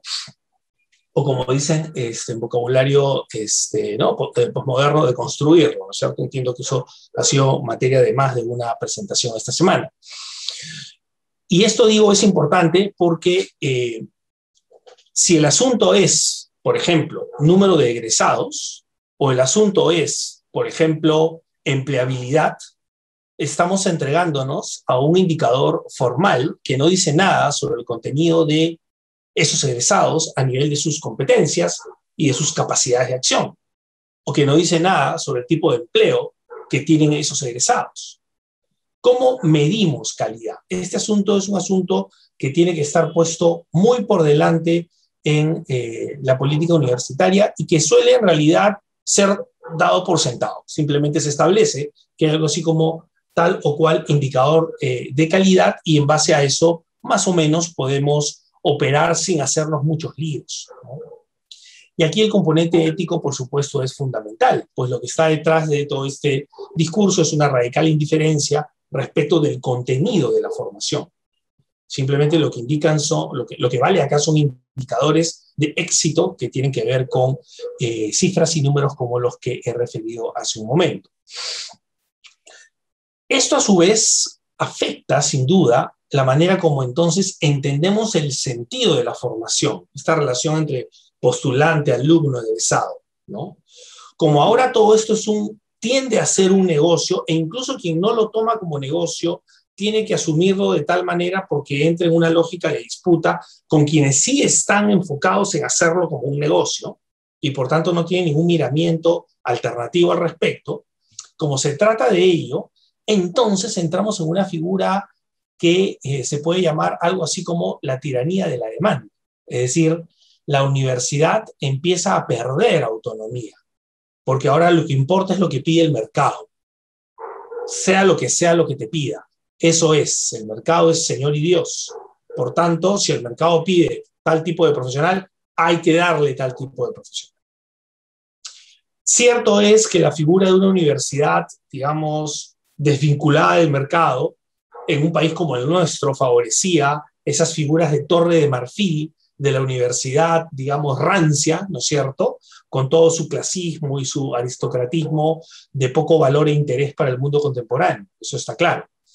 Pero a la vez, a la vez, la entrega al mercado y la conversión a forma mercancía de toda la experiencia que nosotros vivimos en la universidad termina significando que ahora ella no tiene valor en sí misma, sino que es básicamente un medio para otra cosa más. Y entonces pierde el sentido, o mejor dicho, pierde la capacidad de dotarse de un sentido propio. Esta es una situación dramática en realidad. Es una situación dramática porque implica una suerte de vaciamiento de sentido. La apuesta por el conocimiento, la apuesta por la formación del otro, la apuesta por una comunidad, por ejemplo, de eh, ciudadanos que se van forjando en la universidad, no es prioritaria, puede estar en el discurso. Pero al fin y al cabo, lo que decide la suerte de la universidad es que sea de calidad y la calidad se decide por los indicadores del mercado, porque esto es una mercancía más. Por supuesto, luego sabemos que cuando un mercado, digamos, se diversifique y se desarrolla mucho, las mercancías tienden a perder calidad. Eso es una suerte de, ley universal, ¿no es cierto? Eh, y por supuesto, la universidad no es ajena a ello y ahí está toda la lucha de SUNEDU con tanta universidad eh, incompetente, ¿no? Entramos en esta escena y aparece otro elemento que quisiera compartir, así como el elemento de la calidad, es el elemento de las competencias, que también ha sido materia de otras exposiciones. La idea del currículo académico y la idea de las competencias. Las competencias aparecen como este, este finalmente es este saber eh, no solamente que comprende conocimientos, sino que sabe operar con ellos, ¿no? Y, por ejemplo, resolver situaciones. En ese sentido, digamos, es parte de una formación que perfectamente puede concebirse como una formación integral. Pero nuevamente, detrás del término hay que hurgar en el contenido. Porque de lo contrario pasa lo mismo que con el criterio de calidad. Competencia aquí pasa a significar simplemente tu capacidad para venderte mejor. Alguna vez una colega decía en, un, consejo eh, de gobierno ahí en la universidad donde yo trabajo que la PUC, que claro, cuidado, porque si al fin y al cabo se trata simplemente de formar eh, estudiantes para el mercado, entonces en una de esas, pues, vamos a ver qué nos piden los carteles del narcotráfico, ¿no? Porque ahí puede haber una oportunidad, pues, espectacular de contratación. Entonces, nuevamente, no es un asunto en abstracto de las capacidades de comprender, saber operar o tomar decisiones. Es un asunto de aquello que estamos teniendo como apuesta de valor para esos, esos seres humanos con los que tenemos una responsabilidad formativa, con quienes pretendemos no ser solo profes, ¿no? sino eventualmente, si nos da, si nos da la entrega y la generosidad, también maestros. Otro componente de la universidad neoliberal es el tema de la investigación. Este es un lugar bien, muy, muy crítico, ¿no? Sobre todo porque eh, estamos ahora padeciendo una ofensiva neoliberal brutal a nivel de todo lo que está pasando con eh, lo que se valora como investigación. ¿no? Eh, básicamente es el modelo anglosajón, ¿no? Este, donde, digamos, hay toda esta competencia, ¿no? De, las grandes universidades norteamericanas, por ejemplo, que en base a eso obtienen los diversos financiamientos y subsidios públicos, de acuerdo con el ranking que logran, y por tanto, entonces todo se vuelve un círculo de generación de checklists para poder tener el subsidio que te permite seguir generando los checklists de la publicación X, del Congreso Y, etc. Llega un punto en el cual, como ocurre con la lógica del mercado en general, se pierde la sustancia del asunto y deja de ser relevante lo que pueda convocar un interés intelectual de descubrimiento. Porque nuevamente, como todo se vuelve forma mercancía, existimos en función de algo más que nosotros mismos. Y lo importante es ser gratos para aquellos que nos van a juzgar eh, regularmente en función de estándares que no son ajenos. Puede ser algún tipo de eh, gremio que nos puede dar eh, investigación por encargo, eso a nivel Perú no hay, porque nuestro, nuestro capitalismo es muy, muy, muy pobre muy rentista, ¿no? Pero eso sí pasaría en una sociedad como la norteamericana, por ejemplo, ¿no? Una investigación supeditada a las fundaciones que obviamente inciden sobre su agenda de investigación. O puede ser simplemente este alineamiento y esta alienación de autoneocolonialidad en el que estamos buscando que nos den el sí, ¿no es cierto?, todos los días en esta revista y en este, y en este congreso y qué sé yo, ¿no? Algo así como ser buenos estudiantes aplicados, ¿no? En función de una lógica digamos, de acumulación de conocimiento que en verdad puede ser absolutamente trivial, para las necesidades de descubrimiento que en efecto pueden ser capitales para un país como el nuestro o una región como la nuestra, pero que simplemente pasan a tener segundo lugar. No quiere decir que no haya márgenes de independencia, por supuesto lo hay. Vivimos quienes aún creemos en este asunto de la autonomía universitaria entre los mundos. No puedes dejar de asumir forma mercancía si vives en una sociedad de mercancías, todos estamos de una u otra manera entregados a ella, pero eh, podemos lidiar con esta tensión entre seguir investigando asuntos relevantes y seguir la ruta más, digamos, de la academia unanista que una y otra vez está eh, en lógica de ver cómo es que le validan sus mayores, ¿no es cierto? Lo crítico de este asunto es que los asuntos comunes quedan fuera del enfoque. ¿Cuánto ha aportado nuestra academia a la situación pandémica eh, en este tiempo? ¿Qué conocimientos hemos generado pertinentes para esa situación? ¿Cómo somos capaces de aportar a esa situación? Yo creo que el resultado y las respuestas eh, son muy, muy negativas, ¿no? Cada universidad podrá esgrimir que logró este aporte o el otro, es casi como, como ir perdiendo 10-0 y hacer un gol, ¿no?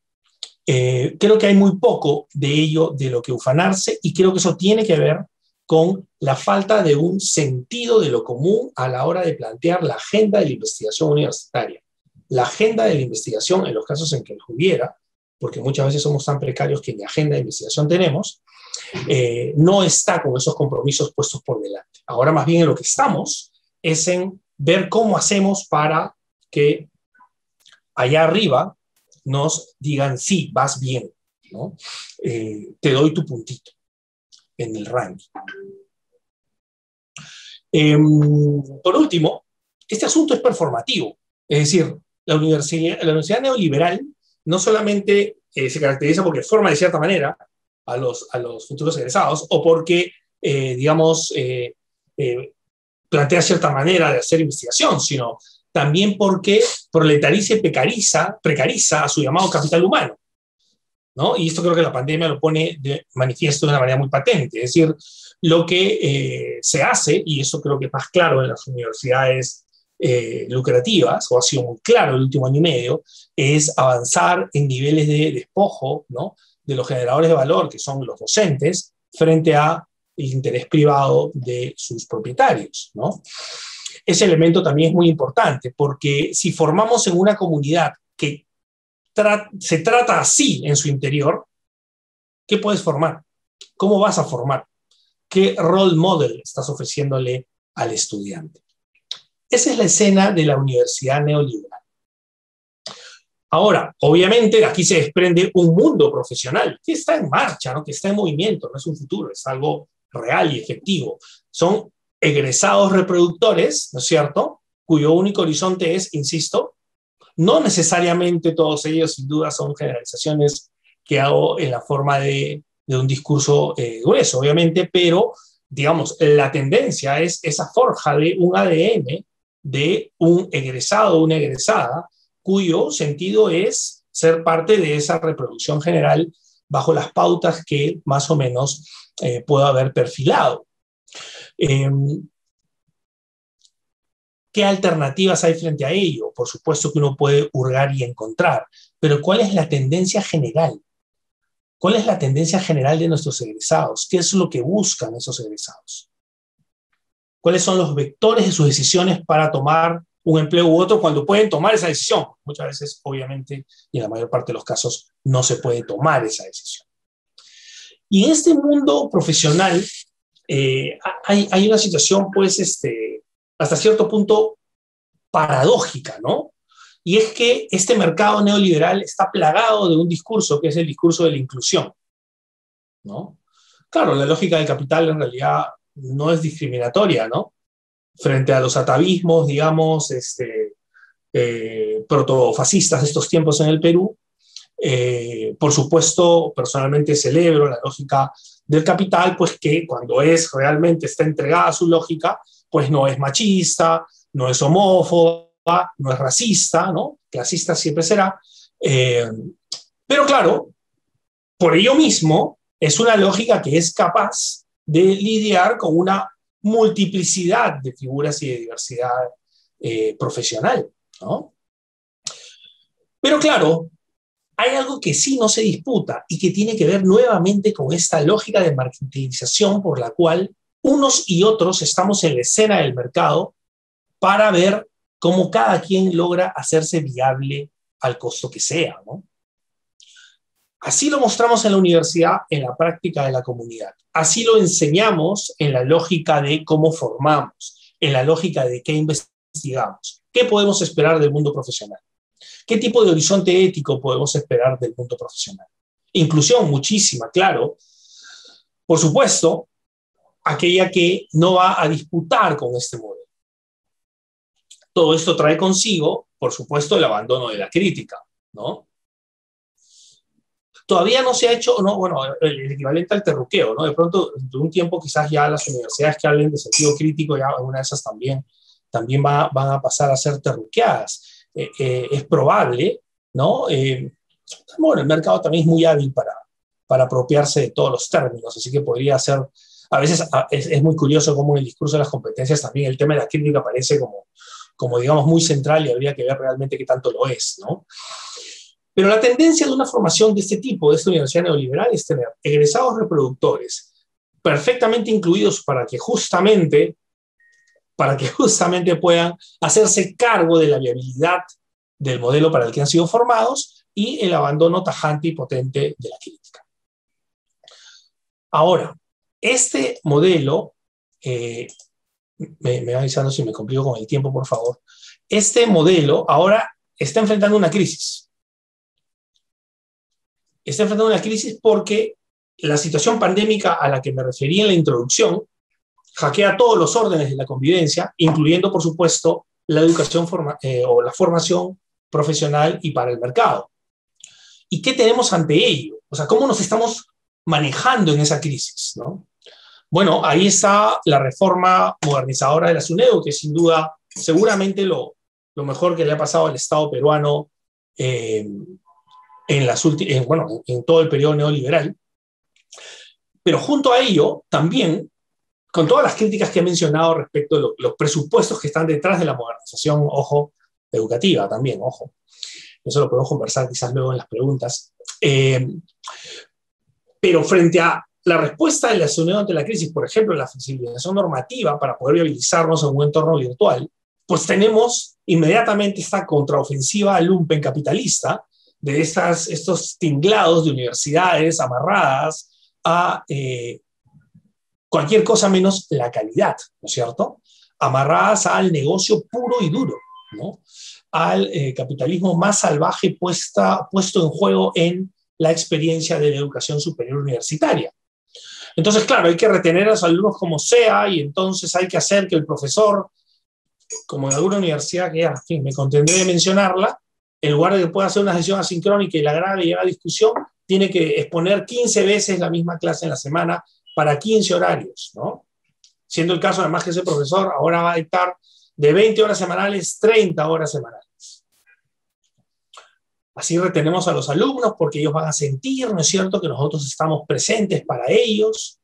Obviamente eso, aparte del estrés y el surmenage mental que puede significar para el colega, asunto que seguramente será de poco interés para el propietario. Aparte de ello, ¿no? lo que tenemos es eh, un jaque muy fuerte a, cualquier estándar de calidad, incluso a los estándares de calidad en términos, digamos, de este horizonte modernizador SUNEDU, ¿no? Incluso para esos estándares, digamos, más, si se quiere, formales, eh, tenemos frente a ello una, un jaque muy serio. Y entonces, claro, la universidad en crisis es una universidad cuya misión está cada vez más difícil de lograr, en términos perfectamente liberales, no en términos de ningún tipo de, discurso, digamos, de más amplio espectro. O sea, en términos de formar profesionales competentes para el mercado, etc. Para ver solo por su vida y desinteresarse del resto. Aún para eso. Así se pone un poco la escena eh, de la universidad pandémica en una universidad que termina haciendo crisis aún más aguda. Vamos a ver cómo, cómo, cómo fluyen estos años que vienen, cómo procesamos el efecto de dos años de eh, educación virtual para poder recoger los impactos de esa universidad. Pero lo que ocurre acá es que teníamos un diseño de universidad que estaba comprometido con esos horizontes a los que me referí. ¿Cómo podríamos esperar entonces que esa universidad tenga la resiliencia para velar por asuntos sustantivos que tengan que ver, por ejemplo, con la preocupación sobre el aporte de la investigación universitaria al sector salud, ¿no? O al sector educación. ¿Cuánto de eso ha pasado? Lo que ha terminado ocurriendo para mí es que algunas universidades han terminado entrando en los lobbies de corrupción de los sistemas sanitarios, por ejemplo, como hemos visto con las vacunas. Entonces, claro, está tan pervertido el asunto por la forma de mercancía que eh, la única manera de atender a la crisis que se agudiza es la lógica más o menos del si quien pueda. Esto pasa, por ejemplo, con los docentes y la explotación o la sobreexplotación laboral de los docentes, ¿no? Finalmente hay más esperando afuera, si no quieres te puedes ir. ¿No? Ese parece ser más o menos el discurso. Pues bueno, la pregunta que ahí cae de madura es, ¿de qué le sirve esta universidad neoliberal en crisis a un país en crisis? Es decir, ¿cuáles son los profesionales de la crisis? Pongámonos a pensar que más adelante nos va a operar algún estudiante de la Universidad X de medicina que se pasó un par de años este, haciendo ni siquiera simulacros, eh, digamos, para el estudio de ciertos tejidos eh, por computadora, porque probablemente ni siquiera tenía acceso a programación relevante o, o suficiente para el caso. ¿Qué le puede aportar esa universidad al país? Yo creo que muy poco. Creo que muy poco. Porque lo que tenemos son egresados de una educación precarizada para un mercado precarizador también. Nuevamente, ahí hay que preguntarnos por las competencias, por el enfoque de las competencias, ¿no? Por la manera como las comprendemos, bien como un sálvese quien pueda, que es el espíritu del neoliberalismo, ese espíritu que esta crisis solamente pone de manifiesto, ¿no? Como cuando vemos la obscenidad de balones de gas a 3.000 soles, nos han formado para eso. Es decir, nos forman para eso, o formamos para eso, para que cada quien vea su interés, ¿no? y se conduzca como el mejor autogenerador de maximizaciones. Y entonces, claro, así como pasa a nivel de las competencias educativas, pues pasa también a nivel de la investigación y la innovación. De pronto se vuelve negocio alguna inversión en educación o en, o en salud y entonces, bueno, en buena hora, by the way, en el camino, como dice en inglés, podrá resolverse alguna necesidad humana, pero ese no es el propósito. Eso no está en el core de este modelo de universidad. Con ello, eh, iré concluyendo planteando algunos aspectos que tienen el propósito de ser una reflexión abierta sobre la universidad y los profesionales que queremos. Un primer asunto para mí lo llamo Universidad de Gestión de lo Común. Yo creo que eh, una universidad con sentido ético para el mundo contemporáneo es una universidad, y por supuesto para nuestro país, que tiene que poner por delante la convicción de que siendo sin duda sujetos particulares, personas y colectivos diferenciados, a la vez formamos parte de una trama vital sin la que no podemos ser viables y por tanto hay que formar o corresponde formar estudiantes en la convicción de que el sentido de la formación universitaria es el autodesarrollo personal, pero en un contexto de un sentido de vida en común asociado a los retos de la sostenibilidad. Y por retos de la sostenibilidad no me refiero solamente al asunto ambiental, ¿no? Estoy, tratando de referir a un conjunto más amplio de consideraciones materiales y espirituales, por supuesto. Puesto que hablamos de autodesarrollo personal, necesariamente eso implica un compromiso y una afirmación positiva de las diferencias, no la tolerancia, que yo aguanto a diferente, sino más bien una afirmación de las diferencias y una disposición a cultivar la exploración del otro. ¿no? Acá hay un elemento que es muy importante, que nos libera de los atavismos conservadores a los que me he referido antes, ¿no? Preliberales, ¿no es cierto? Clasismo, racismo, machismo, etcétera. Y que también nos permite mínimamente al menos, criticar un tanto esta creciente y abrumadora eh, posición de la lógica del interés privado y la acumulación capitalista por sobre cualquier otro interés humano. Eh, esa idea del sentido de lo común. Yo, creo, por ejemplo, eh, podemos citar lo que ocurrió con, con, el tema de las, de las clínicas, ¿no? Este tema del... O sea, cómo es que tenemos un Estado que teniendo incluso eh, el recurso constitucional para hacer de lo común algo de provecho común, o sea, esa riqueza de las clínicas que es producto del trabajo colectivo y asociado de todas las personas que sacan adelante esas clínicas, sin embargo, más bien se entra en un juego de amenazas y tal para que no pase nada y para terminar pagando eh, los 60 mil, 70 mil eh, flat, ¿no? Por parte del Estado, la atención en UCI de las personas que iban muriendo de COVID. Ese tipo de encuadre revela que por delante no está el interés común, sino en ese caso la defensa de la propiedad, ¿no? Y acá las cosas creo que debieran ser muy claras, o ese es mi punto de vista en todo caso. El interés de lo común ha de estar por encima de ese otro interés. Si no lo planteamos de esa manera, genial, sigamos con nuestra lógica de empresa de empresa universitaria, donde el otro es un accidente al cual si puedo tumbar rápido, mucho mejor. Creo más bien en esa idea de, en todo caso, competencias para la gestión de lo común, tenemos un horizonte eh, que nos libre tanto de los ataísmos preliberales cuanto de la omnipresencia y la omnisciencia del mercado. Esto nos lleva al tema de las competencias. Yo he sugerido una lectura crítica de las competencias porque en general está claro en la historia de la pedagogía que son un producto del modelo de desarrollo neoliberal. Pero eso no quiere decir que per se haya que condenarlas. Nunca el problema, a mi juicio, es la técnica ni la tecnología, sino la manera como ciertas valoraciones la impregnan y le permiten darle un cierto sentido y dirección. ¿no? Las competencias son un súper hallazgo, eh, digamos, pedagógico para discernir procesos de aprendizaje. El tema es cómo las orientas, cuál es su finalidad puedes hacer de esto un súper eh, gestor del narcotráfico, para volver sobre ese ejemplo eh, que mencioné hace un momento, o puede ser más bien un gestor comprometido con eh, afrontar el reto de nuestra precaria educación básica, por ejemplo, regular, en un contexto de pandemia.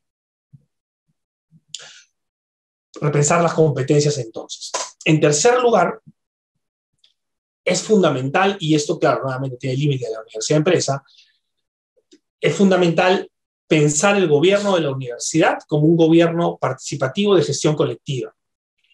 En realidad, como está marcado en la universidad pública y en la universidad privada no educativa, poniendo en el centro a los docentes que son los generadores de valor.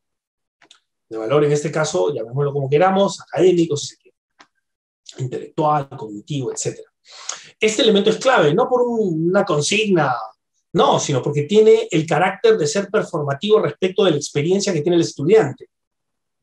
¿no? Piénsese en la lógica de los gremios estudiantiles, en la medida en que se sienten partícipes del gobierno de la universidad, o sea, de la suerte de lo común, es que pueden forjar en nosotros. Pero si tenemos a universidades que más bien prácticamente censuran como delito o falta asociarse, porque eso ocurre en las universidades empresa, entonces, ¿qué estamos generando de cara al futuro y de cara a esa idea de gestión de lo común? Simplemente agentes plagados de competencias que solo servirán, insisto, para su propia eh, pequeña vida individual. Por último, aquí hay una contraparte que es decisiva y que tiene que ver con lo que podemos llamar condiciones generales de la producción universitaria o de la producción académica, ¿no? Y es el papel del Estado, ¿no? Acá, acá en, la reforma universitaria y, y, en todo el trabajo de SUNEDU hay, este, hay una serie de, digamos, aportes en la ruta de la regulación, ¿verdad? Con toda la discusión pendiente sobre calidad y competencias a las que me he referido al inicio.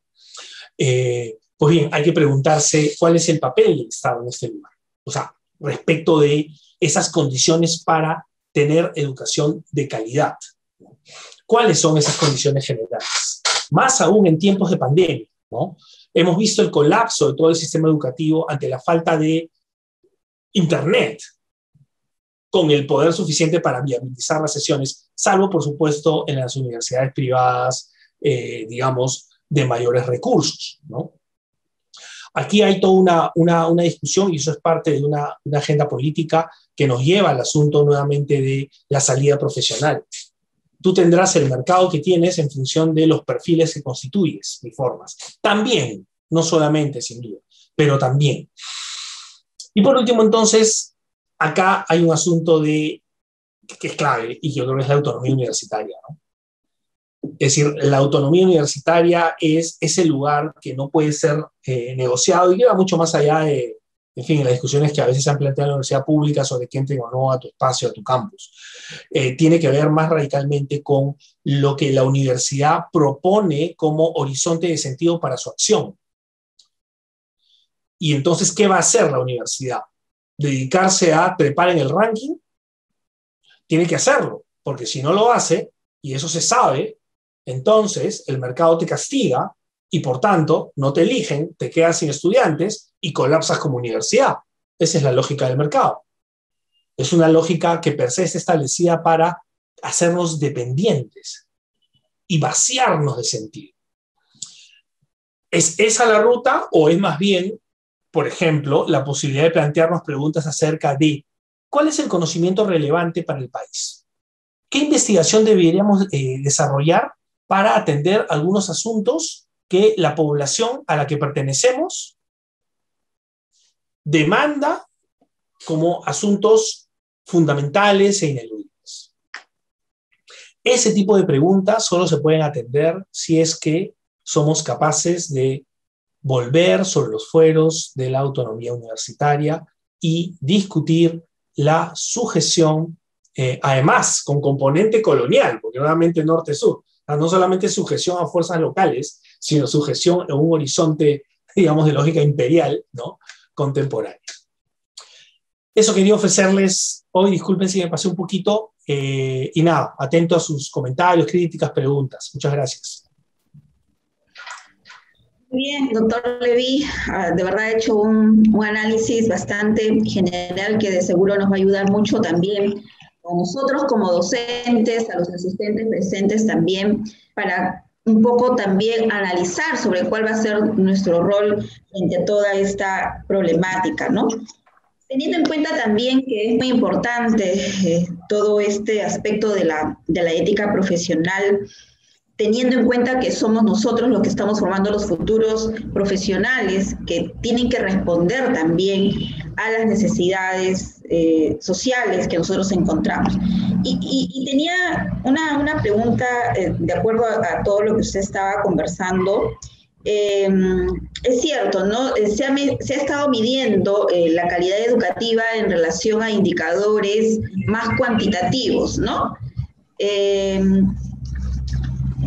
Desde su análisis, doctor, ¿cómo considera usted que debería eh, ser una educación de calidad donde no solamente responda al mercado laboral, sino, y considero también básicamente responder a las necesidades que se están presentando y eso se ha acentuado mucho a través de esta crisis sanitaria y económica que se ha presentado.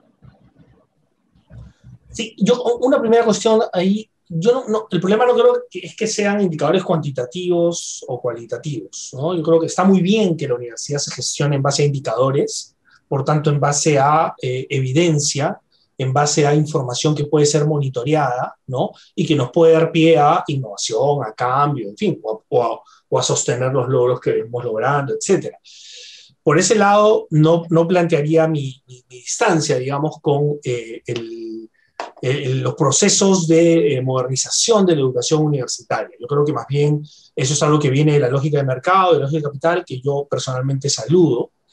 Está bien que tengamos indicadores y que los podamos monitorear. El problema no es la técnica nuevamente, el problema es cuál es el contenido de esos indicadores, ¿no? ¿Qué es lo que están midiendo? Entonces, claro, acá hay todo, una, todo este discurso ideológico, eh, tanto neoliberal como del cientificismo, que quiere que haya así como indicadores objetivos, ¿no? Lo cierto es que ni siquiera la identidad este, más básica que puede ser de género o sexual realmente es un indicador objetivo. ¿no? Todo eso está construido.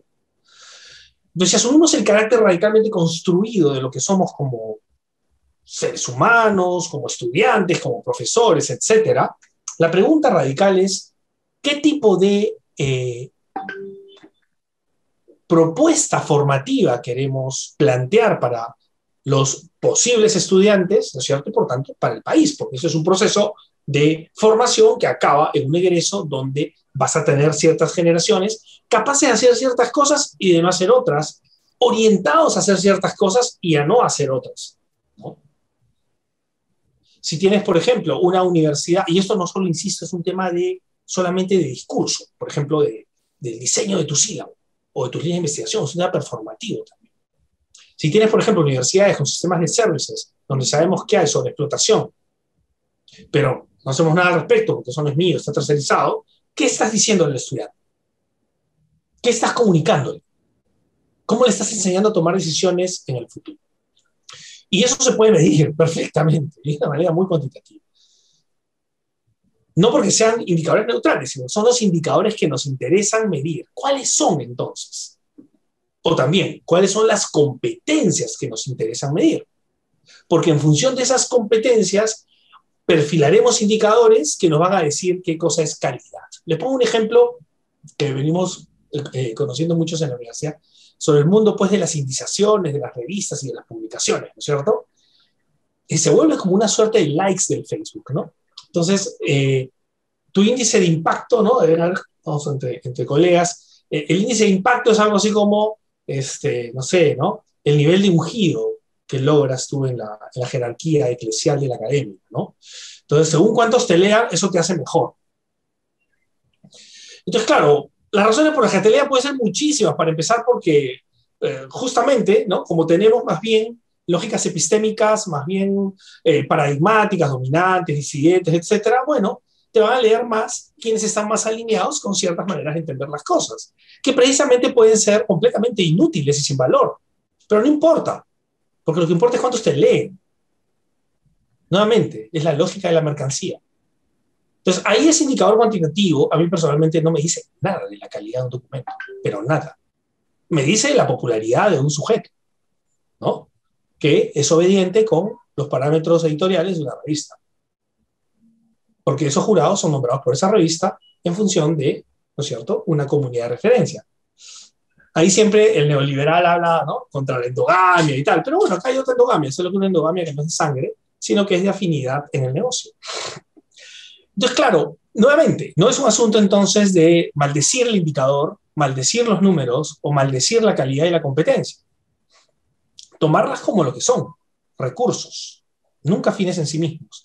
Y por tanto, como recursos, como recursos para la formación, son recursos que pueden ser sumamente valiosos, pero ahí cada comunidad universitaria tiene que hacerse la pregunta radical, ¿qué tipo de estudiante quiero yo contribuir a formar? Y entonces ahí plantearse la cuestión, ¿con qué competencias me comprometo? Y, ahí está el asunto, ¿no? Ahí está el asunto tanto ético como misional, visional, estratégico de la universidad, que tiene que ver finalmente con una imagen de país, ¿no? Que queremos construir a partir de las generaciones sucesivas.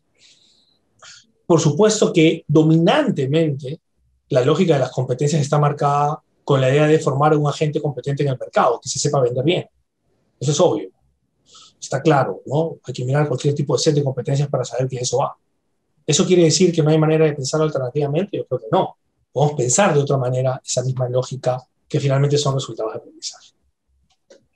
Eso diría inicialmente. Claro, habría que meterse a fondo, digamos, en el asunto y plantearnos qué tipo de, de noción de humanidad al fin y al cabo tenemos, porque eso es lo que está detrás. ¿Cómo estamos comprendiéndonos como humanidad? Y por tanto, ¿qué cosa queremos que logre? Ahora, ahora los niños ya en el colegio, ¿no? Les enseñan a ser sujetos competentes eh, para las finanzas, ¿no? Está muy bien que aprendan a manejar temas contables y financieros. El tema es hacia dónde te lleva todo el paquete de competencias que le dan tanta centralidad a ese tipo de habilidades cognitivas. Ahí está el asunto. Así es. Hay mucha preocupación por el crecimiento en el área profesional, podríamos decir, pero eh, nos falta todavía mucho más por trabajar en enriquecer también esos aspectos como la formación del, ser, podríamos decir.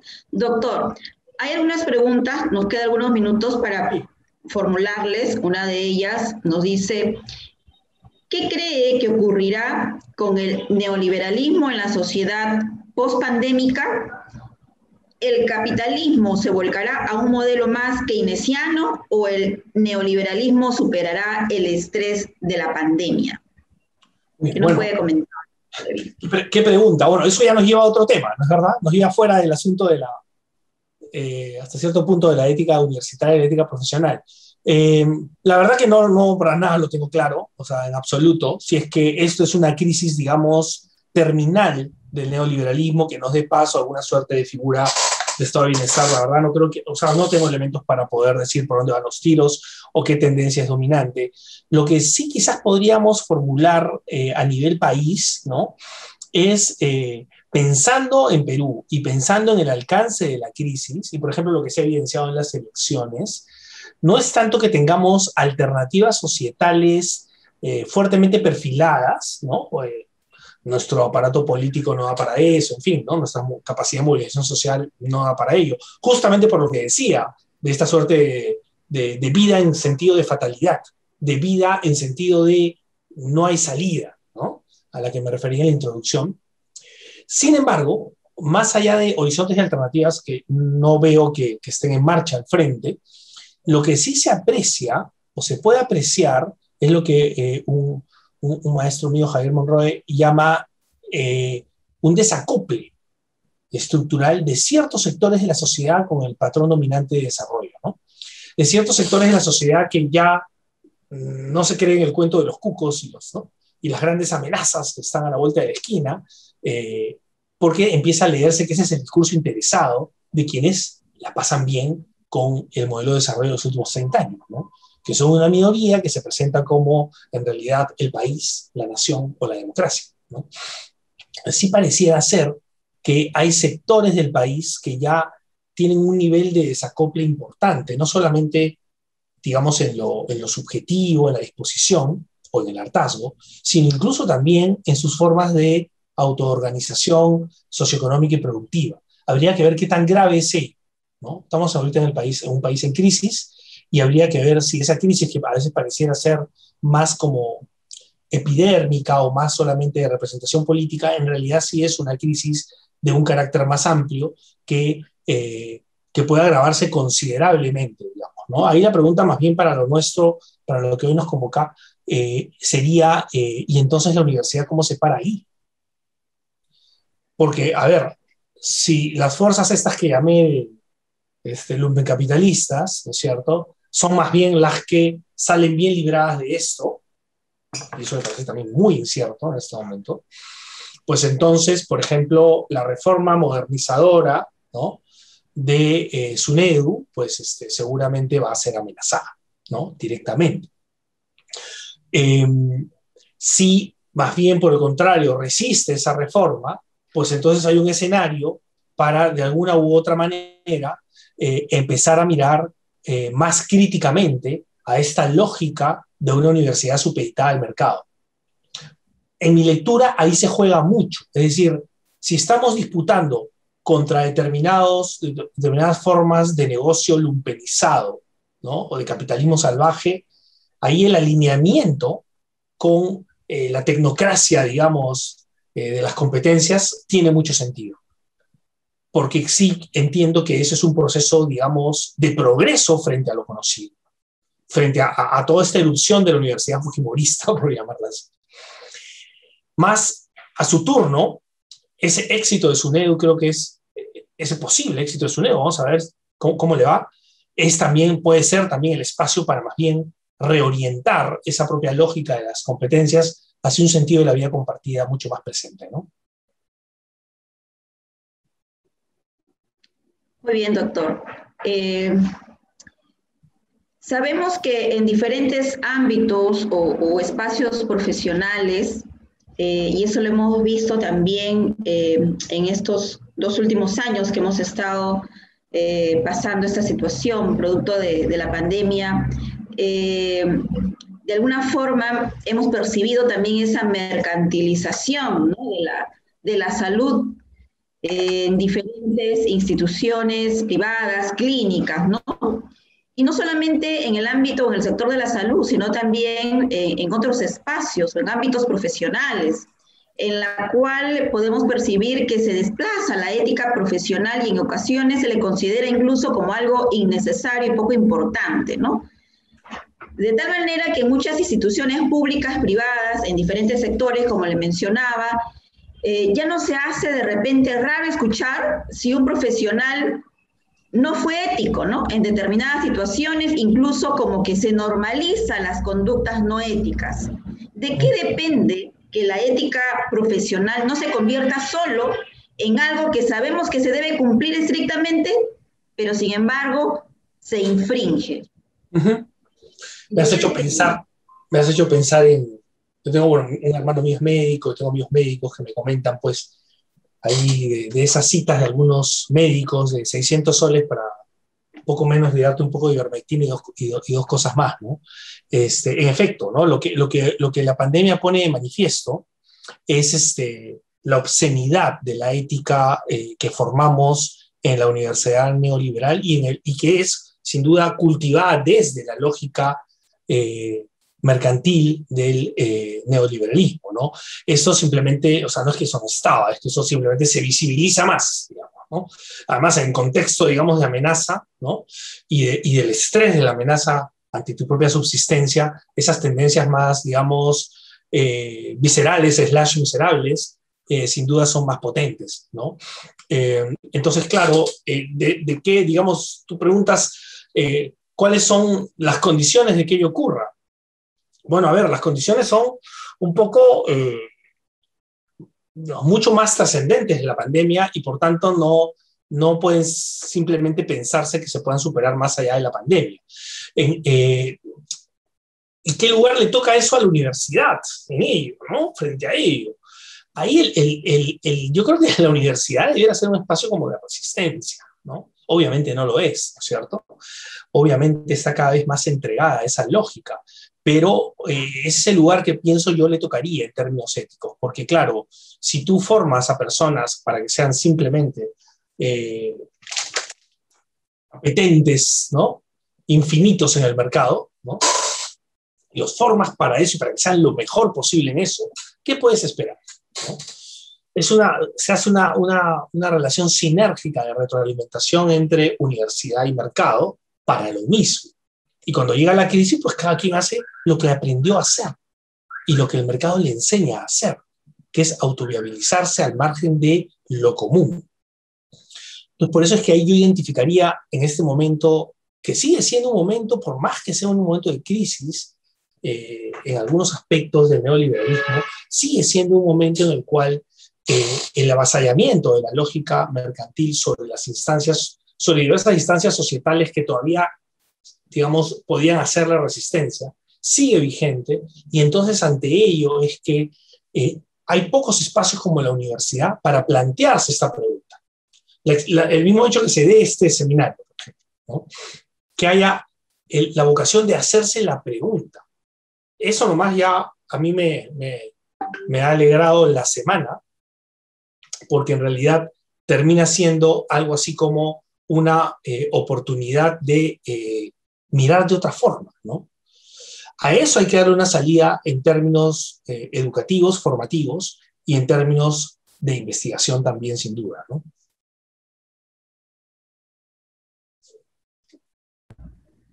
Bien, muchas gracias, doctor Levy. Creo que el tiempo se nos ha ido bastante rápido, es más, creo que nos hemos pasado ya algunos minutos. Agradecer más bien por eh, compartir este tiempo con nosotros y las personas que están presentes hasta el día de hoy. Y bueno, eh, voy a dar paso al doctor Armando Flores para que prosiga justamente con la eh, presentación de la siguiente conferencia y agradecer nuevamente su presencia, doctor Levi del Águila. Un gusto.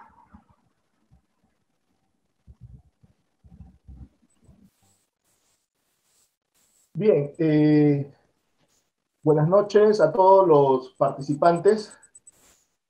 Soy el docente Armando Flores Medina y voy a ser moderador en esta parte del seminario.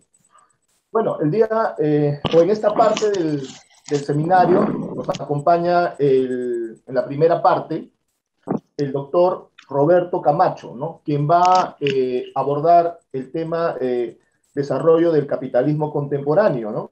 Y su relación con el enfoque de competencia en la universidad. Posteriormente, posteriormente también tendremos la eh, participación del doctor Ricardo Pérez, quien hablará eh, sobre el tema autonomía universitaria y libertad académica. Se les recuerda a todos nuestros participantes que se encuentran en el Zoom y también el Facebook Live quienes eh, pueden hacer sus preguntas eh, a través del chat, ¿no? A través del chat del Zoom o la caja de comentarios del Facebook. Hay eh, también docentes que están encargados de, de, hacer llegar esas preguntas, ¿no? A nuestros ponentes. Bueno, luego de esta, estas primeras palabras, voy a dar paso a nuestro ponente, Roberto Camacho Salinas, ¿no? Él realizó estudios superiores en la Universidad Católica de La Plata, Buenos Aires, Argentina, obteniendo el grado en Ciencia Política y Relaciones Internacionales. Continuó su formación en la Universidad Abierta de Cataluña, España, en convenio con la Universidad Abierta del Sur, Bolivia obteniendo el grado en filosofía con mención en epistemología de las ciencias sociales. Tiene estudios de posgrado en educación superior, Universidad Católica San Pablo de Bolivia, y de planificación y gestión del desarrollo en la Universidad Privada Bolivariana, Boliviana. Actualmente es coordinador del grupo de investigadores en Claxo, Ciencia Social Politizada, docente en las cátedras de Pensamiento Crítico y Estudio Crítico de la Realidad Contemporánea de la Universidad Católica San Pablo, Bolivia. También se desempeña como consultor en programas y proyectos de mejora de la calidad educativa en instituciones de educación superior, secundaria y superior, programa de transformación educativa y planificación estratégica. Trabaja como consultor interno en proyectos de desarrollo social en distintos organismos de la cooperación internacional para el desarrollo, GIZ, Cooperación Alemana, Programa de Desarrollo Rural, COSUDE, Cooperación Suiza, Programa de Articulación de la Justicia Comunitaria, SNV, Cooperación Holandesa, FOX, Fortalecimiento de las Organizaciones de la Sociedad Civil, y ha publicado varios libros sobre la problemática del desarrollo y su relación con los modelos socioculturales. ¿no? Entonces, eh, es una alegría tener la presencia del doctor Roberto Camacho en este seminario y bueno, le concedemos también el uso de la palabra por 15 minutos. Eh, en primer lugar, buenas noches. Gracias a la Universidad de Ciencias y Humanidades por la invitación. El tema eh, evidentemente es complejo y desafiante, sobre todo por el abordaje que implica hacer un análisis del capitalismo, en este caso del capitalismo contemporáneo. Y además de hacer este abordaje, relacionarle con el enfoque de competencias o enfoque por competencias en la educación superior. Para ello he dividido la exposición en tres momentos. En la primera voy a hacer una redefinición del capitalismo, o voy a tratar de hacer una redefinición del capitalismo contemporáneo, para luego aterrizar en lo que es el impacto de este capitalismo contemporáneo en la región y en particular en Bolivia, país de donde estoy haciendo la transmisión, y luego insertarlo con lo que es el enfoque de competencias, y en este caso parto de una premisa, que este enfoque por competencias es sobre todo un enfoque y un modelo adaptativo a lo que vamos a ver es la nueva forma de eh, comprensión de lo que es el capitalismo. Como les decía, el enfoque de competencias lo entiendo como ese mecanismo adaptativo generado por el capitalismo contemporáneo que modela y regula los procesos educativos, en este caso a nivel global. Por supuesto, la modelación y la regulación que realiza el capitalismo no es eh, una noticia por sí misma, ¿no? Sabemos que desde la primera fase del capitalismo, que en este caso la comprendo desde la irrupción de la revolución industrial, en la cual modificó el relacionamiento que tenemos como individuos, primero con la naturaleza y en esta modificación de la naturaleza en el uso de los recursos. Pero en esta primera fase que abarca desde los inicios hasta más o menos la, primera, la segunda mitad del siglo XIX, los recursos estaban concentrados en la tierra. Por esa, esa relación partía de la explotación y el uso, control y dominio de estos recursos. Circunscritos, por supuesto, al evidente incremento del valor que tenía el dominio de estos recursos.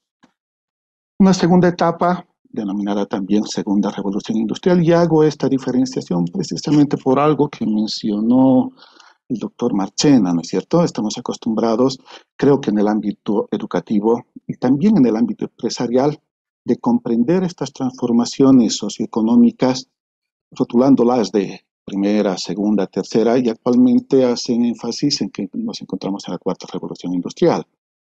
Vamos a ver si efectivamente se puede insertar esa comprensión dentro de lo que estamos planteando. En esta segunda etapa, segunda revolución industrial, ya el uso, control y dominio de los recursos pasó a la sociedad.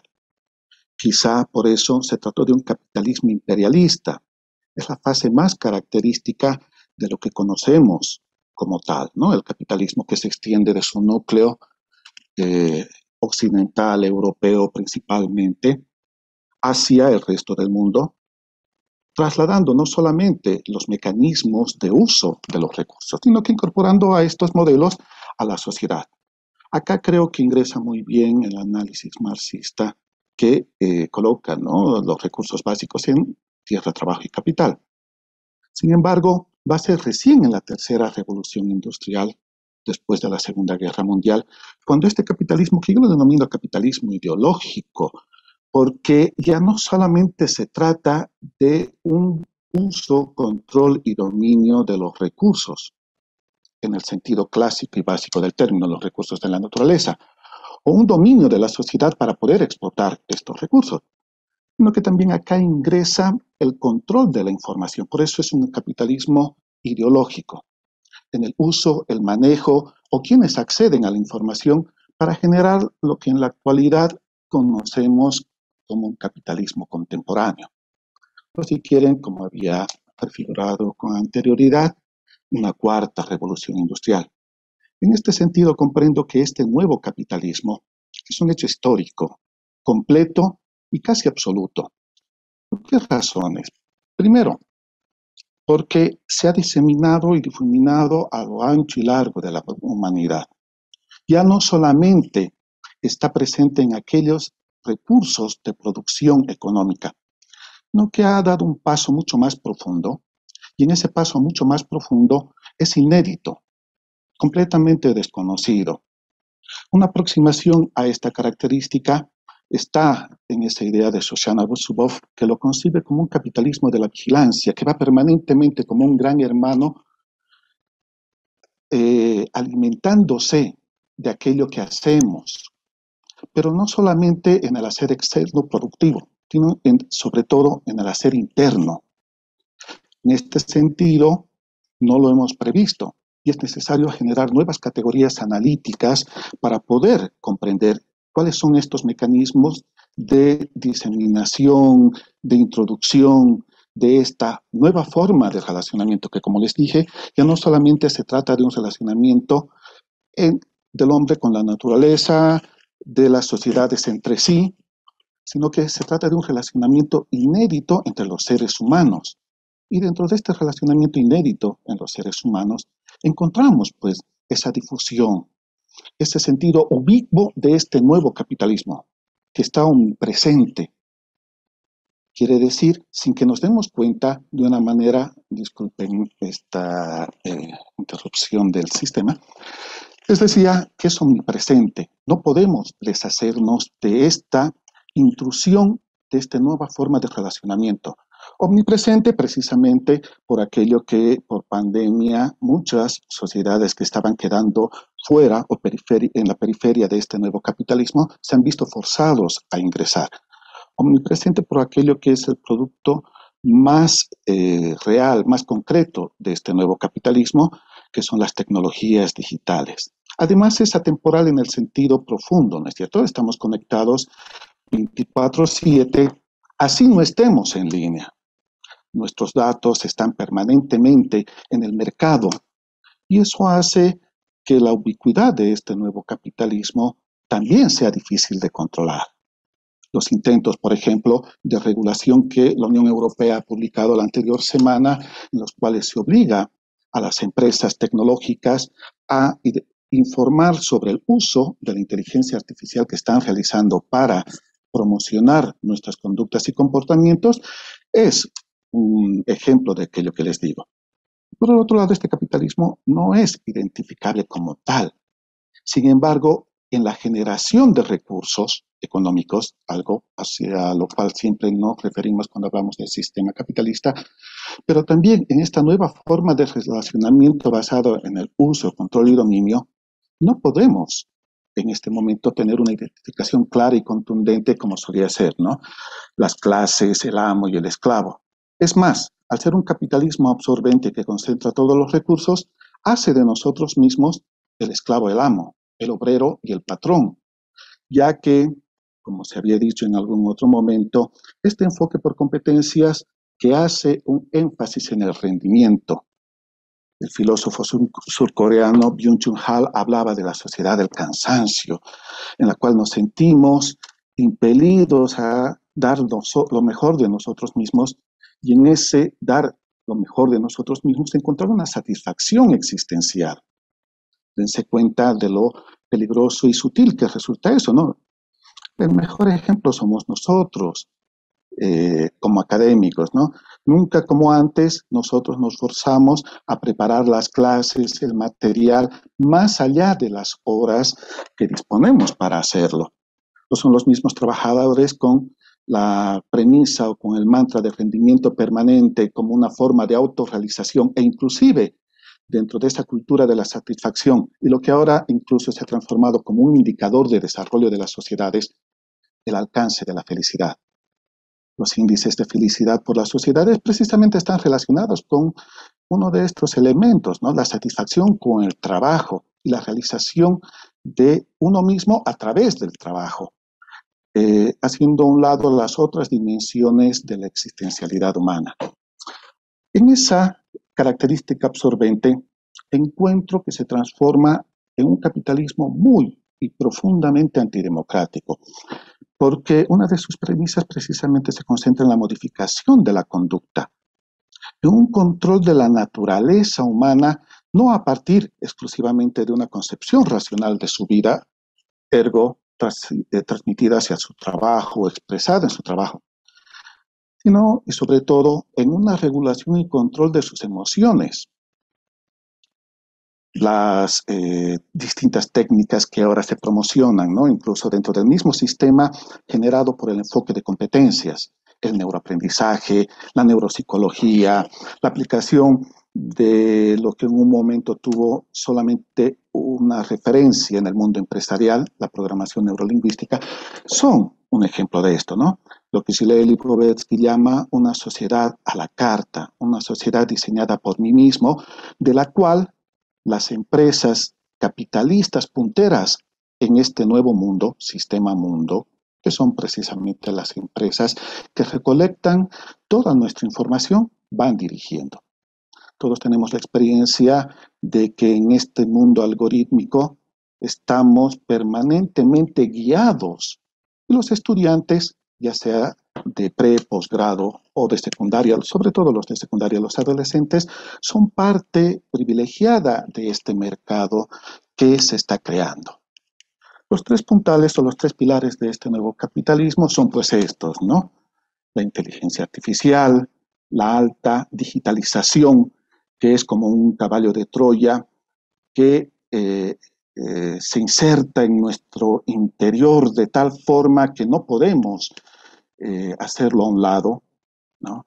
Y la automatización permanente. Entonces, frente a esto, uno se pregunta, ¿será posible una existencia humana en un mundo digital donde con una suerte de gran hermano, una inteligencia artificial fuera del control inclusive de los o de las instituciones eh, llamadas a hacer este control, escapa. Por eso es un capitalismo total. Es un sistema que atraviesa, permea e integra todas las dimensiones existenciales. ¿Por qué? Porque el ser humano es la materia prima.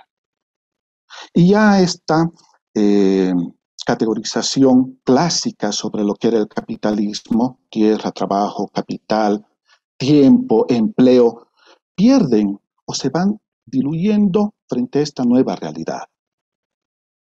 En esta nueva realidad, por supuesto, llega la interrogante, ¿no? ¿En qué medida este capitalismo contemporáneo, que podemos observarlo y del cual tenemos muchas referencias, tanto académicas como sociológicas, en el sentido de la difusión y la, el publica, la publicación de eh, las características de este capitalismo, vienen a nuestra región, y en particular a Bolivia.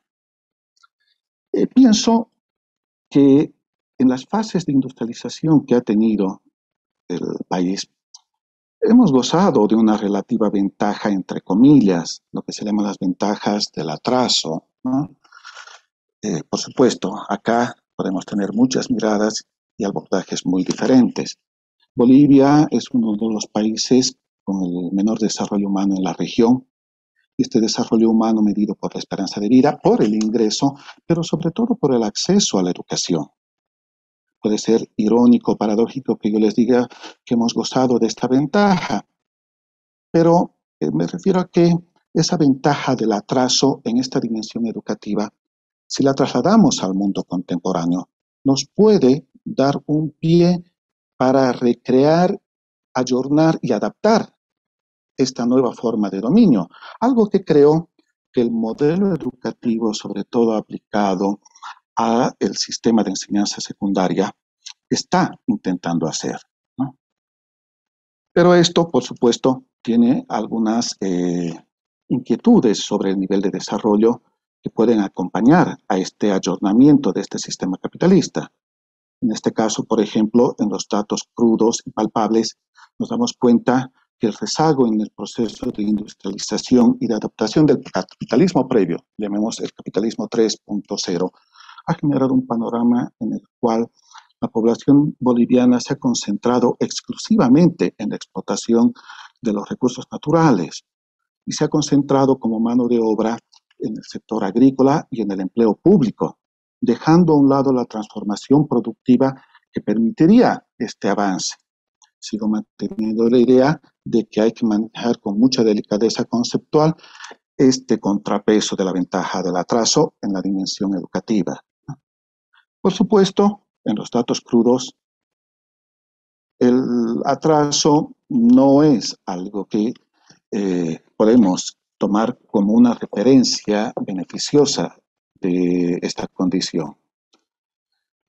En el enfoque sociohistórico y sociocultural, sin embargo, y teniendo en cuenta que el país exhibe, dentro de lo que es su contexto económico, altos índices, índices de desigualdad económica, signados por esa poco, poca productividad, una, unos ingresos que lo catalogan como un país pobre, debemos enfrentar este modelo del capitalismo con una mirada, eh, me da a veces temor utilizar el término endógeno porque en ninguna medida mi planteamiento es antiuniversalista o de capilla o de un particularismo que pretende recrear el mundo o que pretende generar nuevas técnicas y tecnologías que desarrollen un sistema productivo eh, muy, muy propio, ¿no?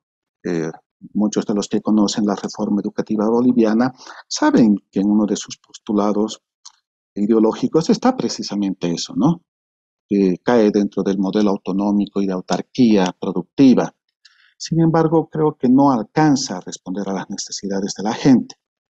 Y si a esto le añadimos un contexto multicultural muy complejo, representado por la composición étnica o racial que desde una autoidentificación hecha por los ciudadanos en un censo muestra una diversidad que en alguna medida dentro de los modelos educativos se toma como una ventaja, pero que en este nuevo modelo de enfoque por competencias, como un mecanismo de adaptación a este nuevo sistema mundo, está jugando una serie de contradicciones o está planteando una serie de elementos que está retrasando tanto el fortalecimiento de aquellas líneas planteadas por, el sistema educativo plurinacional como aquellas exigencias del desarrollo propio de una sociedad que se adscriben al modelo, si quieren, de desarrollo industrial y capitalista.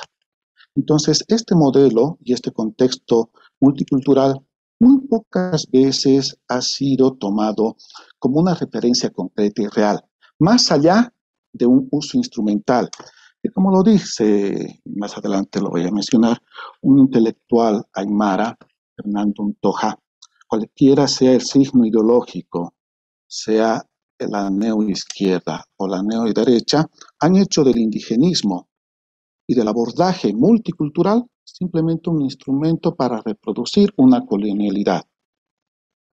Y es desde esa perspectiva en la cual creo comprender que el enfoque por competencias está haciendo una labor de eh, modificación de las conductas que hace muy difícil tener una compatibilización que nos mantenga en un estado de armonía y paz. Estos contextos socioculturales, por supuesto, van contraponiéndose. Acá lo que estoy mostrando es esa dicotomía, ¿no es cierto? En los contextos socioculturales está la presión de la gente o de la población que tradicionalmente ha sido relegada y que no ha participado ni en lo político ni en lo económico, pero que, eh, dado la incorporación de una normativa que les permita el trabajo y el ejercicio en los contextos políticos y económicos, empieza a adquirir un protagonismo. Mi pregunta está, ¿en qué medida este protagonismo se concentra exclusivamente en los aspectos simbólicos del uso, dominio y control del capitalismo? ¿O se traducen en una modificación estructural de la sociedad que permita un crecimiento tal cual lo plantea, por ejemplo, en su modelo ideológico, eh, la perspectiva eh, dominante en esta época, ¿no? El concepto o el paradigma del vivir bien. Un vivir bien que se plantea como un modelo anticapitalista, un vivir bien que se plantea como un modelo eh, comunitario frente al individualismo o la lógica del individualismo capitalista que más allá del enfoque de competencias que hace énfasis en el trabajo en equipo, ¿no? se plantea como una alternativa real. A esto me refiero con esas paradojas que existen en la resistencia o en la adaptación frente a este sistema mundo que por esa ubicuidad ya ha penetrado y está muy presente, de tal forma que a pesar de que adoptemos estos elementos propios y positivos, por supuesto, del enfoque por competencias, o vayamos al otro enfoque, que es el de una educación holística, integral y sociocomunitaria puedan plantear respuestas efectivas. En algún momento creo que uno de los expositores que me precedieron hacía un cuestionamiento sobre qué es lo que ha hecho la universidad en este tiempo de pandemia. Y yo extiendo un poco más hacia atrás este cuestionamiento. ¿Qué es lo que ha hecho el sistema universitario boliviano en particular para eh, contribuir al... Bien. Finales, por favor. Gracias, gracias. Entonces, acá tenía, estaba planteando esa dicotomía entre el enfoque por competencias que está inserto y sobre todo en el sistema universitario, tanto en el público, autónomo, como en el privado. Y por el otro lado, el sistema planteado o el modelo educativo planteado desde el Estado, que es un modelo basado en el paradigma del vivir bien, que va en algunos aspectos en contradicción contra este modelo. Por eso acá encuentro ese choque de paradigmas que todavía está por resolverse. Y en ese choque de paradigmas y enfoques educativos es en el que nos encontramos en este momento. Bueno, hay un poco más, pero el tiempo no me lo permite. Gracias por su atención. Gracias a usted, doctor. Eh, quería hacerle llegar una pregunta que nos han hecho llegar nuestros asistentes. Eh, ¿Qué opina acerca del enfoque por competencias visto desde la perspectiva del enfoque sociocultural o socioformativo, como alternativas a los enfoques por competencias eh, más alineados exclusivamente a las necesidades del mercado en el contexto neoliberal? Esa es la pregunta, doctor. Eh, gracias. Bueno, no encuentro una diferencia. Desde el enfoque sociocultural sería una adaptación de, este, de estas líneas o principios de lo que son las competencias. Las competencias es la articulación de las habilidades, capacidades que tienen los educandos, los individuos o los estudiantes frente a la problemática, poder identificar cuál es la problemática de un determinado contexto y responder con una resolución o para la resolución de esos problemas. Por supuesto, contextualizándolos.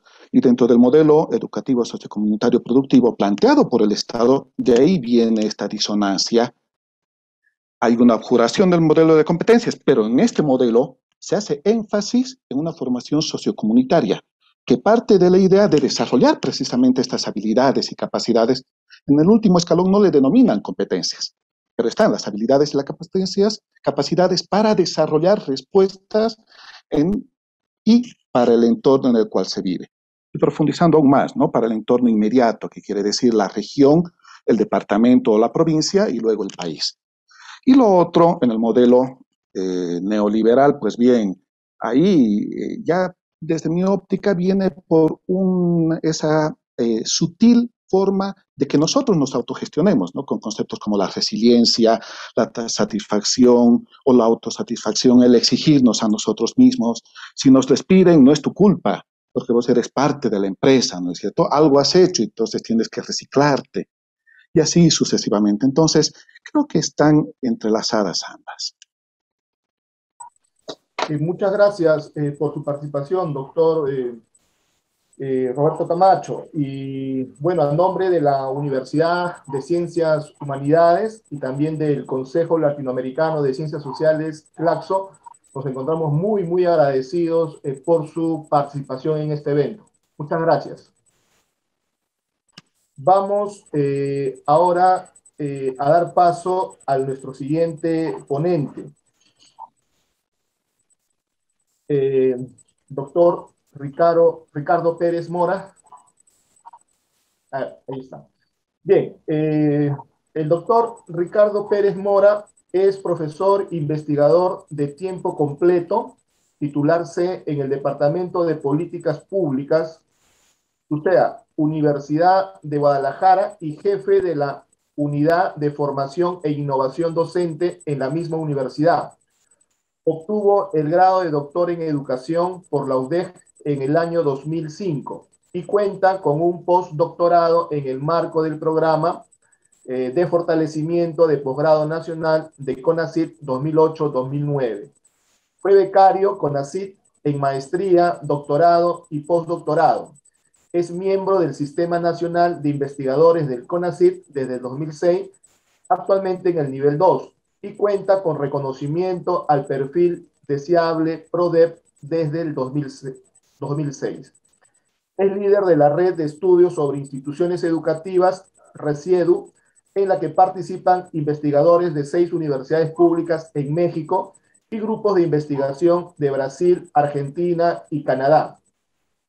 Es también co-coordinador del grupo de trabajo Claxo Ciencia Social Politizada 2019-2022, red en la que participan investigadores de siete países de Iberoamérica.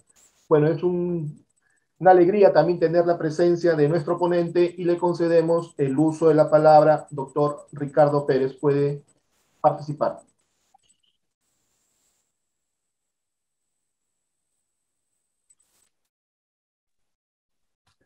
Sí, muchísimas gracias. Eh, ¿Me escuchan ahí? Sí, se le escucha bien. Todo está bien.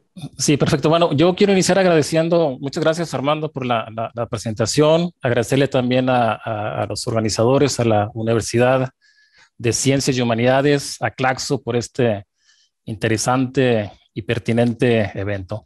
Un saludo a todos los que nos escuchan y, a Roberto, es un gusto también compartir la mesa contigo, doctor. Eh, mi tema es eh, autonomía y libertad académica para la producción de, conocimiento. Sí se está presentando, ¿verdad? A ver si... Sí, doctor, sí se ve su presentación. Ok, el, tema eh, de autonomía se ha venido trabajando, diferentes autores, diferentes perspectivas. Una de las particularidades que quiero poner énfasis es en, en el tema este, la función sustantiva de investigación que tienen las, instituciones, la producción de conocimiento, la generación de, conocimiento.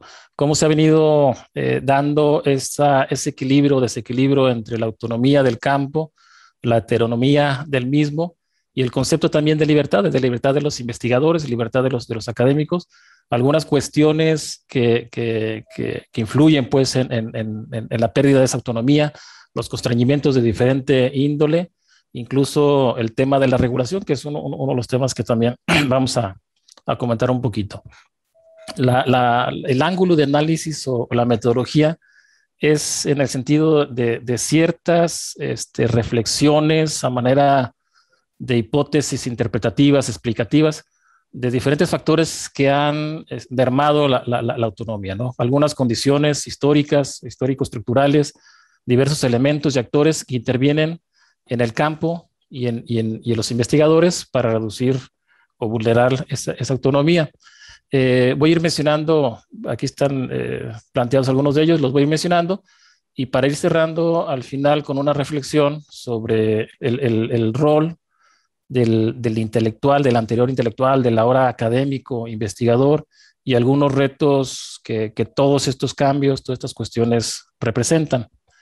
Eh, y bueno, y para ello vamos a, iniciar platicando un poquito sobre el concepto de campo académico, que es uno de los conceptos que, que parece que nos ha sido muy útil para la delimitación de lo que queremos estudiar, ¿no?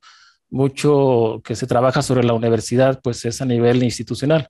El concepto de campo, una de las virtudes es que incluye, en, en una lógica relacional, incluye las instituciones, pero también incluye diversos actores, elementos que en, en, un, en, una lógica relacional van, van, definiendo lo que es eh, esta, la, producción de conocimiento y las redes, los, los, actores, los agentes que, que, que, intervienen y de alguna manera influyen en él. ¿no? Se define el campo como un microcosmos que pertenece a un, a un cosmos eh, mucho más amplio, un cosmos, un, macrocosmos, un sistema social eh, con el cual establece también diferentes, diversas relaciones eh, y también por ahí tiene el, el, juego de la, autonomía o heteronomía con relaciones en macrocontexto más amplio, ¿no? Todas estas relaciones que hemos venido comentando se constituyen como relaciones de competencia, relaciones de lucha. Es, el concepto que nos da Bourdieu eh, entre académicos, entre investigadores que tienen diferentes niveles, diferente poder y, en base a eso tienen diferentes posicionamientos en el campo. ¿no? Hay eh, poderosos y hay este, desprotegidos, eh, lo, que él llama este, como los, eh, dominantes y los, dominados o los recién llegados, los, que se van incluyendo en el campo, que van buscando un espacio en él, ser partícipes, pero llegan con pocos capitales, con poco poder para, posicionarse en el mismo. ¿no? Entonces, toda esta lucha, toda esta competencia por el prestigio, por mantener el statu quo de los dominantes y por tratar de transformar ese statu quo de los dominados o de los recién llegados, eh, una particularidad que tienen es que van definiendo normas de operar de lo que es el campo, de lo que es pertenecer al campo, de lo que es el conocimiento válido eh, en el campo, ¿no? Entonces, lo que queremos poner énfasis es que el campo eh, es autónomo, que determina, define sus propias, sus propias normas, sus propias leyes, y es una de las, de las bondades que, que, esperemos pues que, que, podamos ir recuperando del campo científico, ¿no? Este campo académico, campo científico, bueno, con sus eh, pequeños matices, eh, finalmente una, una, de las formas que, nos ayuda a pensarlo como un campo autónomo es que eh, aleja el campo de legitimación de las esferas locales y lo pone en un nivel de, de mucho más amplio, ¿no? La, la, la, legitimación de un académico reconocido no está en su cubículo con su jefe inmediato o en la institución que lo contrata, sino en las redes eh, donde intervienen las asociaciones, las, revistas y una serie de mecanismos eh, por medio de citas de reconocimiento, de invitaciones a eventos, que le dan autonomía a los investigadores con relación a, digamos, a, su espacio, a su esfera, su esfera local. ¿no?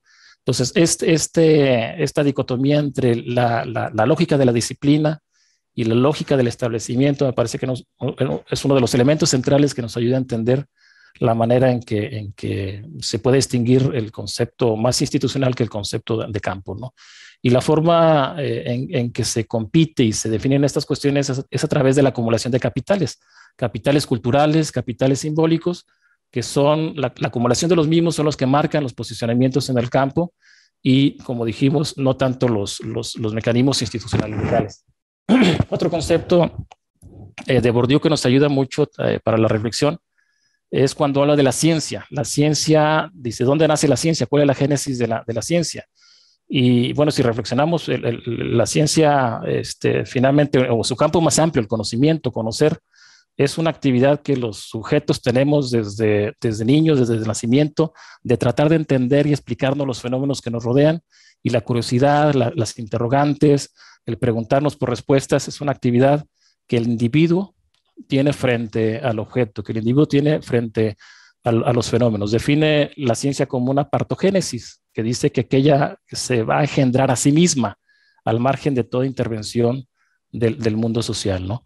Sin embargo, pues esta relación individual del sujeto con el conocimiento, del sujeto con el objeto de estudio, pues sin duda en una relación social, los científicos como todos actores, pues somos, sector, somos sujetos, sujetos sociales, eh, pues se, va transitando de, esa intencionalidad, de esa lógica inicial individual, a una lógica colectiva, a una lógica social por la misma naturaleza del ser humano. Hay muchos estudios sobre el proceso de institucionalización de la, ciencia en base al reconocimiento por los pares, en base al reconocimiento por las estructuras y por las instituciones, y en, medida que crece en conocimiento se va también creciendo en formalización y en institucionalización como un ente eh, pues de, la, de, la, de, la, de, la, modernidad. ¿no? Pero aquí la reflexión va en, en, en la transición de esa institucionalización a, una eh, cuestión más rígida que podemos llamar una bu burocratización, o sea, cómo el individuo científico que se enfrenta al conocimiento, después lo hace de una manera este, más social, colectiva, en comunidades, en laboratorios y universidades, que se va convirtiendo también en, estructuras burocráticas que le, que le, establecen normas, que le establecen el deber ser de lo que es su, su, actividad científica. ¿no?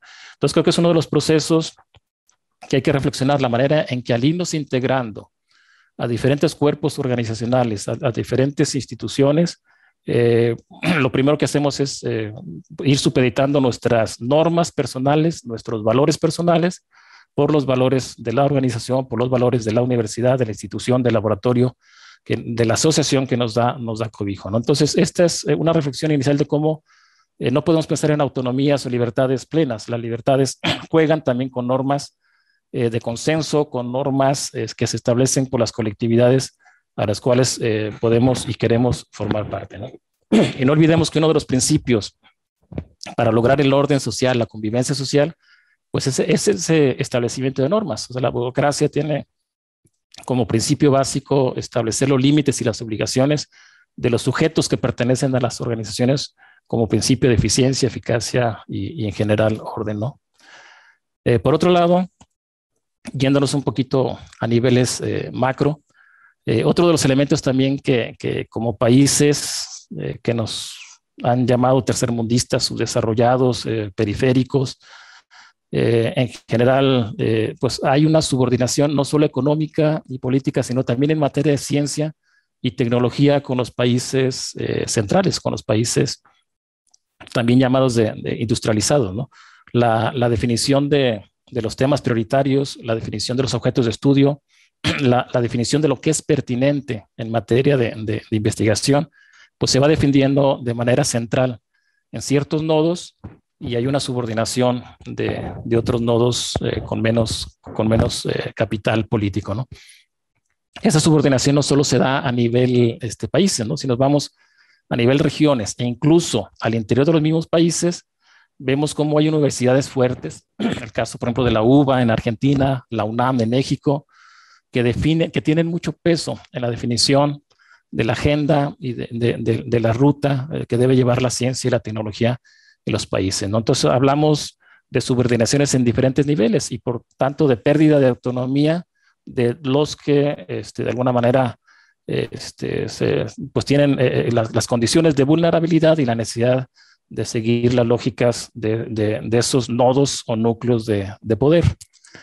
Eh, otro de los elementos también que, que quiero traer a la reflexión sobre este tema de la pérdida de la autonomía es el papel de los, de los organismos internacionales. ¿no? Sabemos que también hay lógicas este, de poder, lógicas donde intervienen pues, las grandes potencias mundiales y que ahí se definen muchas de las, de las recomendaciones que impactan en la agenda de, de la política pública de, de, los países, ¿no? en particular los países latinoamericanos, algo que, que nos hace vulnerables eh, para seguir esas indicaciones es eh, pues el nivel de deuda que tengamos, el nivel de, de su desarrollo, que, que, de alguna manera las, las, recomendaciones de los organismos internacionales se convierten en cuestiones más deterministas, que se vulnera la autodeterminación de, de los pueblos, ¿no? Se imponen las, las, reglas y las políticas públicas, el Estado, que es el otro nivel de reflexión, pues finalmente, así como eh, es vulnerada su autonomía, pues también se convierte en un ente que con una, una, una, regulación cada vez más estricta, pues genera también una, una vulnerabilidad de la, de, la, de la, autonomía de las universidades. ¿no? Entonces, el Estado se ha convertido eh, en, en, un ente cada vez más regulador, ¿no? Eh, bajo unas reglas del juego, eh, con un discurso donde, donde se, se, se habla mucho de la calidad, eh, el discurso se centra en este concepto y el acompañamiento eh, el, par obligado es la evaluación, ¿no? la evaluación como una garantía para buscar este, este tema de la calidad de las, de las universidades. ¿no? Todo esto va acompañado de una lógica de rendición de cuentas, un discurso que se legitima a través de, del concepto de transparencia. Estamos generando este, indicadores y el dinero se está gastando en las cuestiones que realmente generan esos indicadores y los que están dando respuesta a los requerimientos de la política pública, ¿no? Adriana Costa por ahí mencionó toda esta cuestión como un intervencionismo estatal a distancia. Y otro de los elementos definitorios de este intervencionismo es la manera en que se van cambiando eh, los mecanismos de control. Los mecanismos de control van perdiendo de vista lo que realmente sucede en los procesos y se van centrando en los resultados. Esto es los papelitos, los indicadores eh, que responden a, los mecanismos de, evaluación. Otro elemento que también eh, lo queremos meter a esta discusión de la autonomía de los académicos, de la autonomía del campo, de, las universidades, es el mercado. En esto hay pues mucho que decir sobre la racionalidad economicista que ha venido eh, siendo cada vez más fuerte en, las, decisiones, eh, en muchos términos, incluso de política pública, y la ciencia no se escapa de eso, el, académico no se escapa de, trabajar con, con, una materia prima que es el conocimiento, y un conocimiento que se ha venido definiendo en muchos casos como un bien, un bien de mercado, un bien que se puede vender, que se puede comprar, que tiene un valor de cambio. Lyotard por ahí decía cómo el valor de uso se va perdiendo y va dando en, este, la posmodernidad este paso a un conocimiento donde lo que predomina es su, su valor de, cambio. ¿no? Y, por, consiguiente, pues bueno, todas estas cuestiones impactan en la libertad de los académicos para la decisión de qué es lo que pueden investigar, de qué es lo que, lo, que son los objetos de interés, la, la definición de la agenda y, pues sus decisiones se ven supeditadas a lo que es financiable, lo, lo, que son los intereses de los grupos eh, económicamente dominantes, ¿no? Ya eh, entrando un poquito a la, a la, recta de las, de las conclusiones, el, tema de, de, de, la pérdida de la, la autonomía del campo, el tema de la pérdida de la autonomía o la libertad de los académicos, pues impacta en gran medida al tema de, la, de, la, de este congreso, en este evento, ¿no? de las crisis de las, de las universidades, ¿no?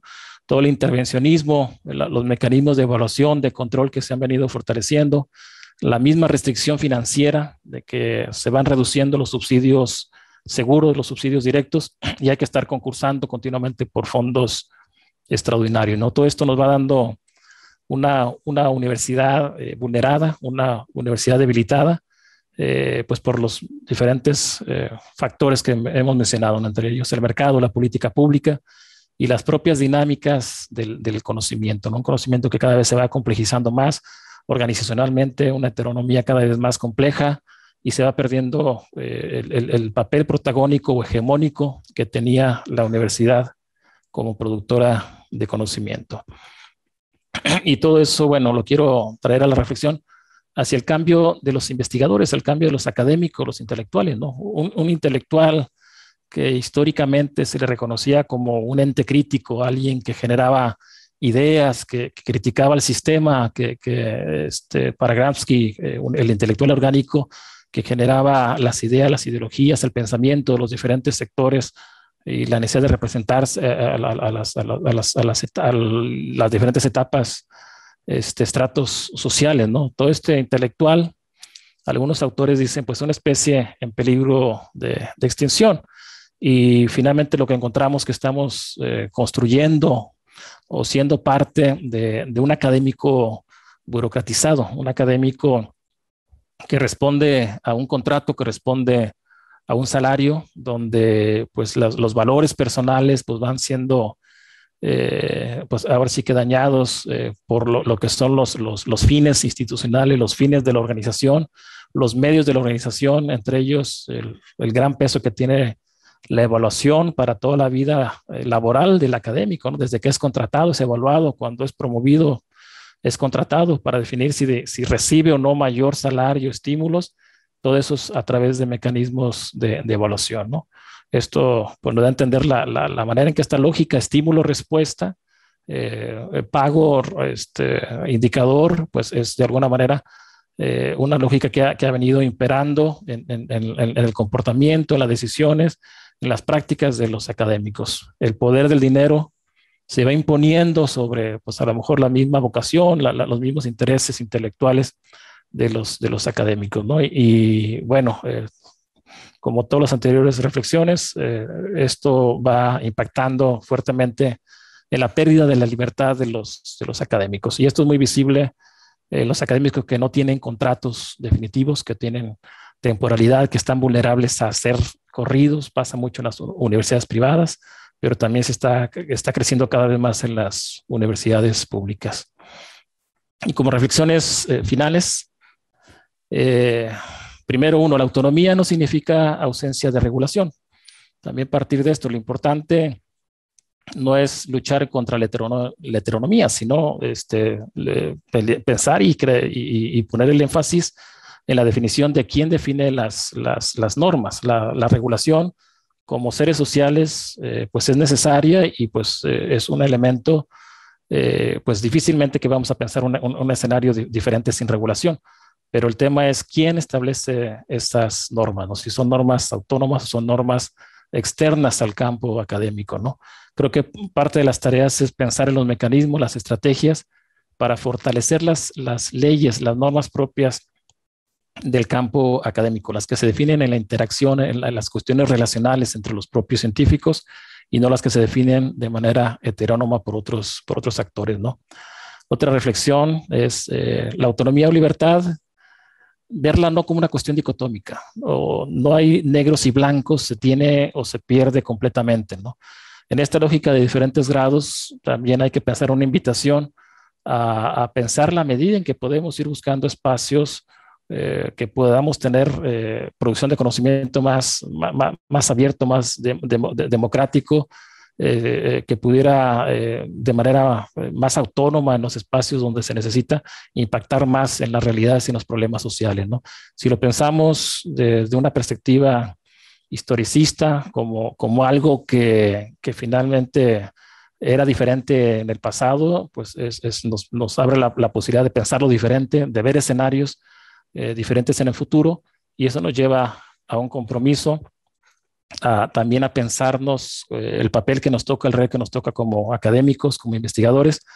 Eh, y nuestra principal herramienta, pues finalmente es eh, el, conocimiento. nos dedicamos a generar conocimiento y pensar que ese conocimiento pues empiece a generar los cambios de mentalidades, la apertura, un mayor compromiso con, con, con, con el tema crítico, con, pensar ahora sí que las instituciones, los sistemas, la manera en que están de alguna manera restringiendo eh, una ciencia mejor, una ciencia para todos. Y creo que eh, pues ahí es asumir eh, cada vez más el compromiso de, generar conocimiento para una mejor ciencia y pues en general una mejor sociedad, ¿no? Pues a grandes rasgos, espero haber sido sintético, es una de las ideas que, he venido reflexionando en mis líneas de, de investigación. Muchísimas gracias.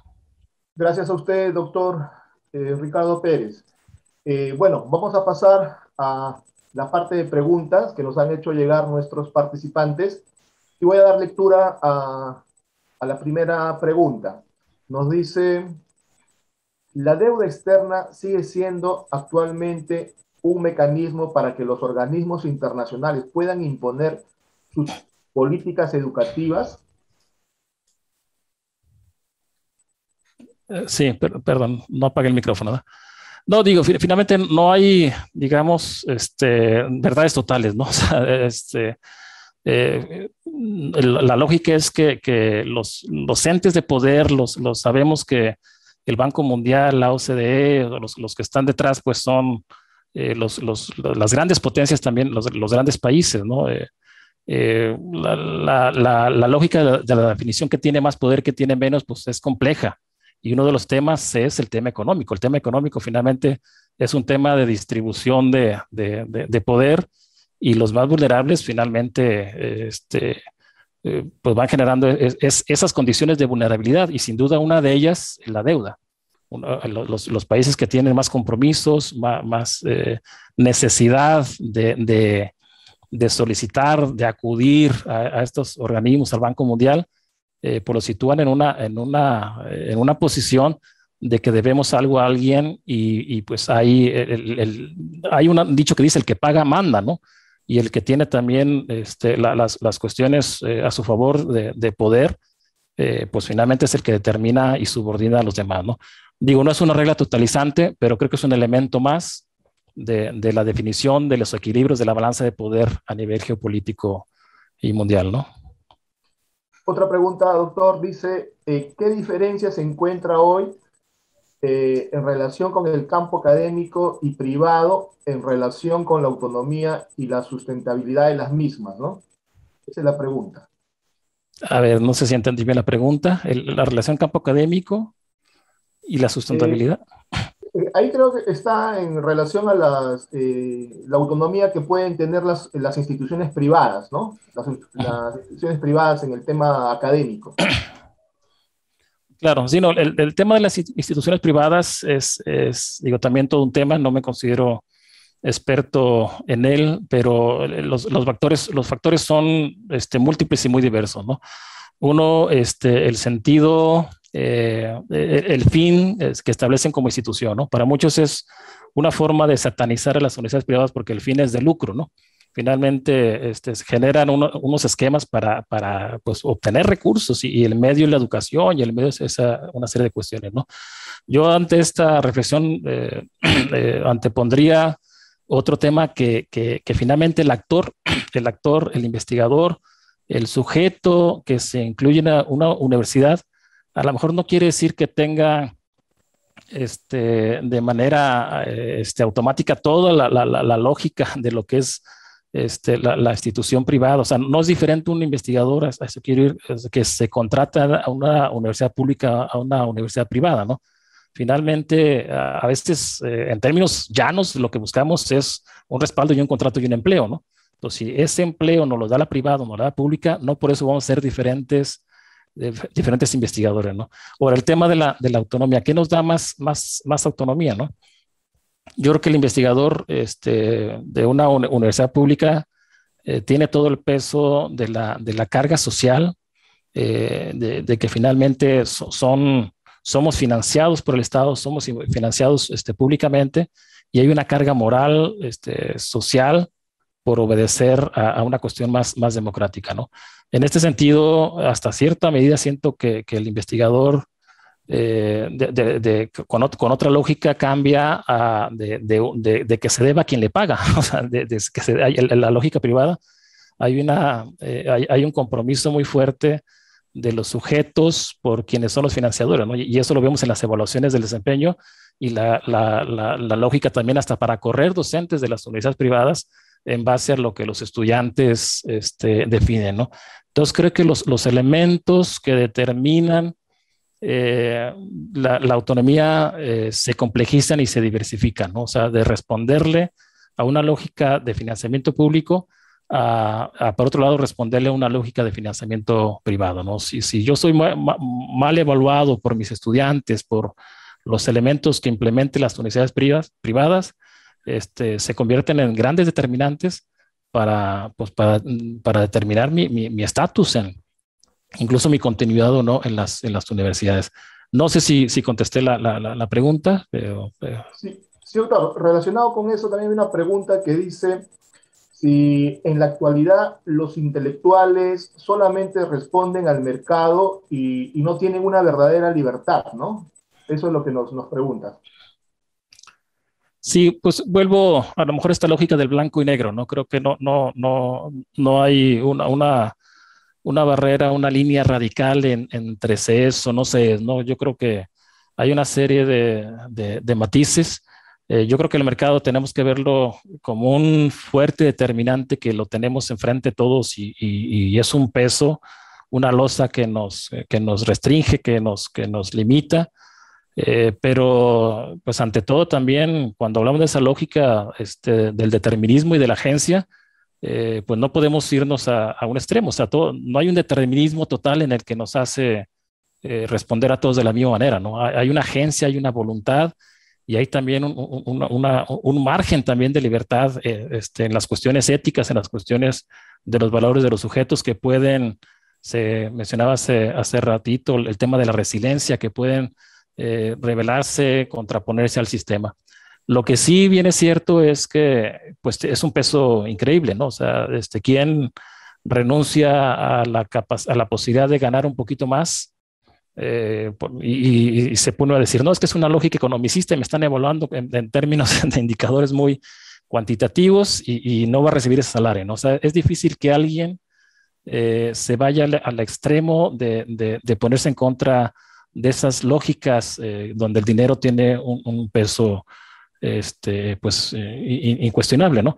Pero creo que en el margen de libertad está pues, el punto crítico donde debemos nosotros ver lo que se puede hacer con el conocimiento. No vamos a dejar de responder a lo mejor un mecanismo de evaluación porque porque me está midiendo cosas muy este, cuantificables, reduccionistas y, en una lógica, qué sé yo, podemos poner todos todos los calificativos, pero no vamos a dejar quizá de, concursar la gran mayoría de los académicos, pero sí pensar dónde está nuestro campo de acción y nuestros márgenes de libertad, ¿no? el, conocimiento que producimos, en la docencia que damos, en la, orientación que le damos a nuestros productos, en, la, posibilidad que se está generando para involucrar a otros actores en, la producción de conocimiento, la, misma sociedad, la, los actores de la política pública para generar eh, esquemas más horizontales, más participativos, más democráticos en toda la lógica de la producción de conocimiento, desde su generación hasta la, difusión y la, implementación para la solución de, los problemas. ¿no? Bien, muchas gracias. Eh, doctor Roberto Camacho, no sé si todavía no, se encuentra, quisiera que para acabar esta, esta mesa, si nos pudieran dar las palabras eh, finales también de, despedida, este, eh, también a los eh, asistentes, a los participantes, las disculpas del caso por no poder plantear todas las preguntas, tenemos un tiempo limitado y ya tenemos también que dar pase a la siguiente parte de la, de la actividad. bueno, Ricardo, doctor Ricardo Pérez, si podría dar un mensaje final a nuestros participantes de despedida. Sí, no, no, pues nada más agradecer muchísimo el, espacio, el, evento, felicitar a los organizadores y un fuerte saludo a todos los, colegas que, nos escuchan. Muchísimas gracias. Eh, no sé si se encuentra el doctor Roberto Camacho para cerrar la mesa. Eh, sí, buenas noches. Bueno, agradecer la iniciativa desde el rótulo de la invitación que plantea que la Universidad de Ciencias y Humanidades eh, propone un modelo más humano, eh, entiendo que esta convocatoria ha tenido el impacto en relación a esa propuesta y muy agradecido y enriquecido por todas las participaciones. Gracias, gracias a ustedes y bueno, también eh, culminar esta mesa y nuevamente agradecerles a nombre de la Universidad de Ciencias Humanidades y de Claxo. Bueno, voy a dar pase a al profesor Manuel Colona, quien eh, va a desarrollar la, la, siguiente parte de nuestro seminario. Profesor Manuel Colona. Bien, gracias. Gracias, muchísimas gracias, doctor Armando Flores Medina. Eh, de este modo, eh, estamos llegando ya al final de nuestro seminario internacional, la Universidad en tiempo de crisis.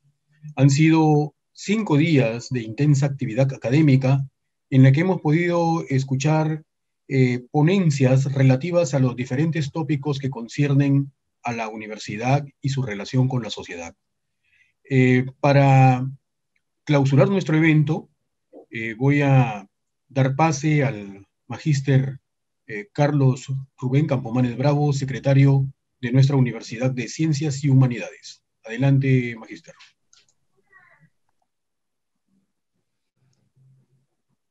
Gracias, Manuel.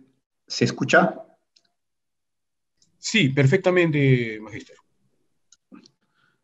Bueno, mis primeras palabras son para hacer llegar a cada uno de los participantes y ponentes nacionales e internacionales del presente seminario internacional, la Universidad en tiempos de crisis, el saludo y reconocimiento de nuestro rector, el doctor César Augusto Ángeles Caballero, y el de la comunidad universitaria de nuestra Universidad de Ciencias y Humanidades.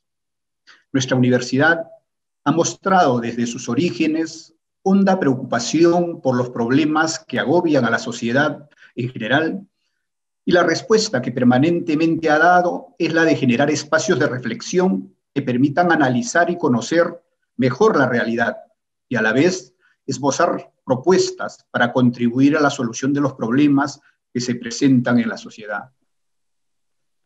En esta línea de trabajo es que se considera en el plan anual de nuestra universidad impulsar el desarrollo de un seminario internacional en un contexto de pandemia, que busca respuestas y propuestas de mejora, para el actual accionar de las universidades en relación con la comunidad universitaria y la sociedad en general.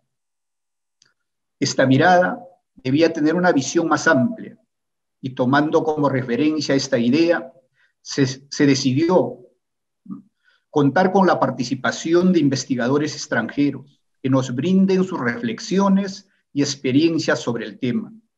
Luego de escuchar cada una de las ponencias presentadas, hemos constatado que las referencias a partir del análisis realizado indican que los problemas que se padece a nivel regional y mundial están íntimamente relacionados. Por ello, agradecemos muy especialmente a los coorganizadores del presente evento, a Claxo y la Red Estrado, a sus docentes asociados y a nuestros ponentes nacionales que conjuntamente han permitido dar mayores luces respecto a los temas tratados. Las reflexiones en torno a los problemas recurrentes en la universidad actual son muchos y consideramos que es imposible comprender la forma como se desarrolla la universidad sin enmarcar su funcionamiento en medio de las políticas neoliberales que se han establecido a nivel mundial lo cual plantea serios desafíos a las universidades del Perú y el mundo. Asimismo, hemos reflexionado en torno a lo, hegemónico y lo paradigmático de los diversos enfoques que en gran medida distorsionan o desvían el verdadero sentido de la formación profesional universitaria y cómo creativamente se puede formar integralmente al profesional cuando se esbozan propuestas considerando en estas la perspectiva crítica.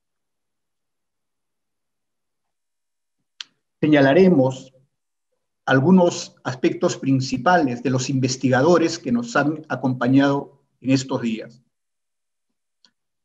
La doctora Eloísa Bordoli Rodríguez nos planteaba que los efectos de la pandemia guardan estrecha relación con la crisis actual. Y se puede decir que es resultado de la globalización neoliberal de las estrategias de acumulación mundial centralizada. El doctor Nicolás Muriet nos decía que el enfoque de competencias en las universidades debe, debe desarrollarse desde una perspectiva crítica y orientada a la formación integral, es decir, enfoques socioculturales y socioformativos acerca de las competencias. El doctor Alain Basail Rodríguez, nos planteaba recuperar la pertinencia social y cultural de las instituciones educativas, fortalecer el rol público de los maestros, priorizando el trabajo educativo y pedagógico, darles un nuevo sentido social y cultural a los aprendizajes de nuestros estudiantes. El doctor Luis Bonilla Molina nos señalaba que uno de los desafíos que necesitamos reflexionar desde las universidades es el proceso de exclusión tecnológica, agudizado por la cuarta revolución industrial, y definir si efectivamente es el resultado del dinamismo de las tecnologías y de la combinación de sistemas digitales y físicos para mejorar la calidad de vida del ser humano, de América Latina y el mundo. La doctora Judith Goren nos decía que las universidades, consecuentes con los principios y normativas, necesitan estar comprometidas y promover la igualdad de oportunidades e impulsar la transversalización del enfoque de género en los distintos organismos, proyectos y programas. Asimismo, necesitamos superar los aspectos de estereotipos para disminuir las brechas de género que aún persisten. El doctor Martín Benavides Abanto, nos planteaba que nuestro país necesita tener derecho a una educación de calidad. Para ello, la ley universitaria debe ser respaldada. Necesitamos sumar esfuerzos entre universidad, Estado, mercado. No podemos avanzar si continuamos con la oligarquía académica. La autora Isabel Piper nos hablaba de la memoria colectiva, esta implica hablar del pasado considerando diferentes estrategias de recojo de memoria y el mundo académico no es ajeno a este proceso de conceptualización ni del registro de los fenómenos que genera esta memoria colectiva. La doctora Susana Morales nos decía que es necesario apropiarnos de las tecnologías, reconociendo sus riesgos y sus ventajas y potencialidades, reconociendo en el contexto del capitalismo actual son estas tecnologías su columna vertebral. La doctora María Belén Fernández Mazara señalaba que la tecnología es un derecho humano, pero al mismo tiempo resulta un campo de exclusión que limita sus potencialidades democratizadoras, resultando la tecnología un campo de construcción de hegemonías. El doctor Nicolás Lynch señalaba que la Universidad Peruana como espacio de conflicto entre poderes políticos, donde actualmente los funcionarios tecnócratas asumen poder, dejando de lado el poder natural que debe seguir y establecerse desde dentro de la misma universidad y la regulación del Estado. El doctor Gustavo Villar nos señalaba que es necesario contar con un concepto claro respecto al sujeto de la educación, el fundamento antropológico nos permite analizar esas características que a través de diversas teorías pretenden explicar la relación de la actividad del maestro con el alumno, desde concepciones mecanicistas y abstractas, hasta una concepción científica y emancipadora, que es por la que se apuesta para lograr una educación que permita comprender al ser humano como síntesis de múltiples determinaciones. La magíster Liliana Muñoz nos señalaba que la mayoría de universidades en nuestro medio actualmente se encuentran bajo un enfoque por competencias. Lo importante es desarrollar este enfoque considerando las características propias de este contexto, responder a las exigencias de nuestra sociedad y con una mirada crítica y flexible sobre esta aplicación. No todo está concluido y hay mucho que investigar para lograr el objetivo de formar profesionales integrales. La doctora María Morales González nos decía que la sociedad contemporánea, premiada por las tecnologías digitales, donde nos movemos con la incertidumbre de un mundo dinámico, con una nueva ecología de la educación, en donde aprender significa comprender el valor de los procesos, validar de forma crítica la información, fomentar la creatividad, imaginación y colaboración, desarrollar las capacidades comunicativas teniendo en cuenta la diversidad estudiantil, superar la brecha del aprendizaje a través de la motivación e interés de cada uno de los sujetos implicados. El doctor Pablo Bomaro nos señalaba que la ciencia no debe ser un privilegio de ciertos grupos, debe considerarse como un derecho humano y público. No mercantilizar las investigaciones que aporten a resolver los problemas de la sociedad.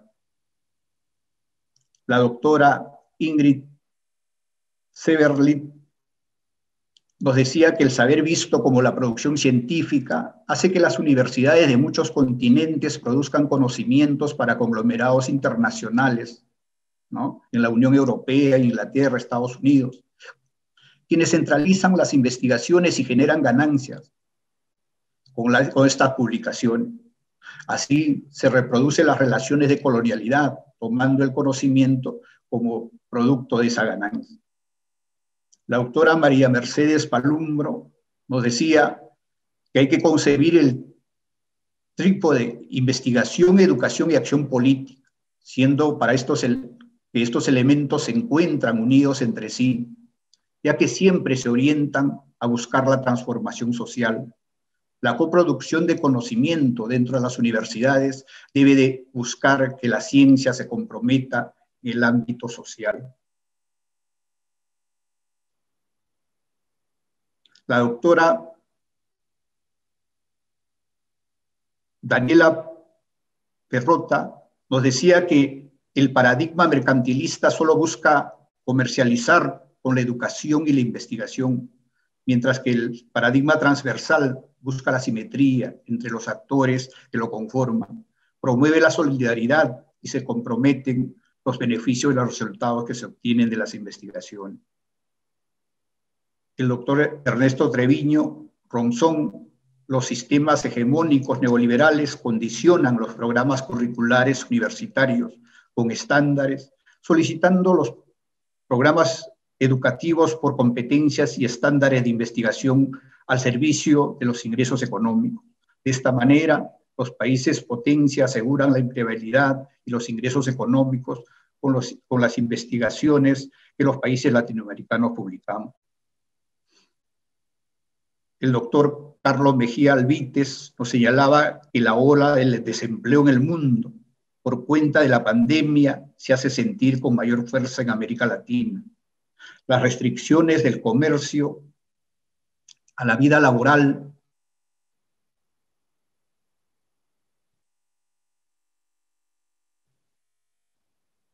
y al turismo, entre otros, como medidas de contingencia para tratar de frenar la propagación del COVID-19, deja millones de personas desocupadas. La crisis acelerará el proceso de digitalización de la economía. Esto podría significar nuevas oportunidades de empleo, pero se hace necesario incorporar en la población en edad de trabajar las habilidades y destrezas digitales para que éstas no acaben erigiéndose en una barrera que limite la incorporación de los colectivos más vulnerables del mercado laboral y para hacer frente a los efectos de una eventual desocupación tecnológica.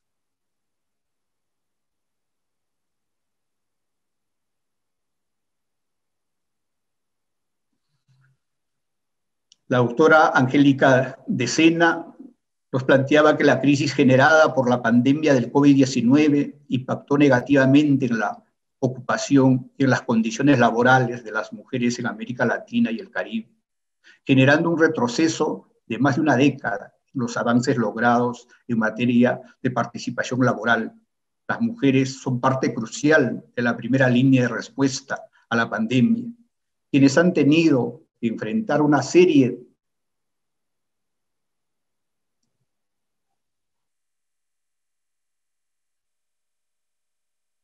de condiciones de mayor riesgo al que se expone el personal de salud de contagiarse el virus.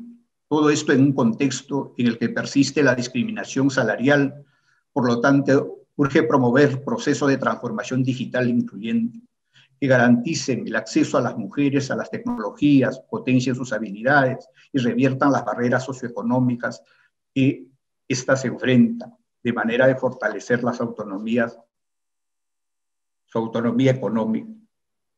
La autora Ana Laura Riboir decía que la reproducción de desigualdades limita el aprovechamiento de los recursos digitales. La problemática social y cultural de los sectores más vulnerables, no todos son nativos digitales, nos señalaba. El doctor Augusto Castro nos decía que la universidad tiene como finalidad formar personas en criterios y valores de la más alta calidad ética y como educandos, investigadores que comprenden que las personas son un fin y no un medio de investigación. El doctor Miguel Inga nos señalaba que las universidades deben formar profesionales impulsando la interculturalidad y la inclusividad y respecto de las competencias investigativas, formar en investigación cualitativa. El doctor Levi del Águila nos hacía una referencia a la universidad neoliberal y cómo ese aspecto del mercado distorsiona todas las actividades que hacemos para formar integralmente a nuestros estudiantes. ¿Mm? El doctor Roberto Camacho nos ha presentado una interesante ponencia en el cual nos hace ver ¿no? el desarrollo del capitalismo y su relación con el enfoque de competencias, presentándonos un caso concreto que nos sirve y es de mucha importancia. El doctor Ricardo Pérez Mora nos ha presentado la autonomía universitaria y la libertad académica. Esa libertad académica de la cual hablamos los claustros. Pedimos, pero que nos ha señalado que estas distorsiones del mercado lo apartan de su verdadera esencia. En síntesis, diremos que el Seminario Internacional, la Universidad en tiempos de crisis, que hoy culminamos después de cinco intensos días de trabajo, no tendría los frutos deseados sin la participación de cada uno de los presentes que día a día nos acompañaron en las salas virtuales. Finalmente, con la actividad desarrollada por nuestra universidad, que hoy clausuramos, tenemos la seguridad de haber contribuido al cambio, que es lo que exige la universidad actual agradecer a la comisión organizadora y a quienes estuvieron día a día garantizando que el seminario se desarrolle en el mejor nivel. Gracias infinitas. Con la convicción de haber alcanzado los objetivos deseados, doy finalmente por clausurado nuestro seminario internacional, la universidad en tiempo de crisis. Gracias. Muchísimas gracias, Magíster Carlos Rubén Campomanes Bravo. Y como no podía ser de otra manera, vamos a culminar también con una actividad artístico-cultural. Y en esta oportunidad tengo a bien presentar una muestra de danzas peruanas que estará a cargo de la agrupación Linaje Peruano. Vamos a apreciar esta muestra artística. Adelante, por favor.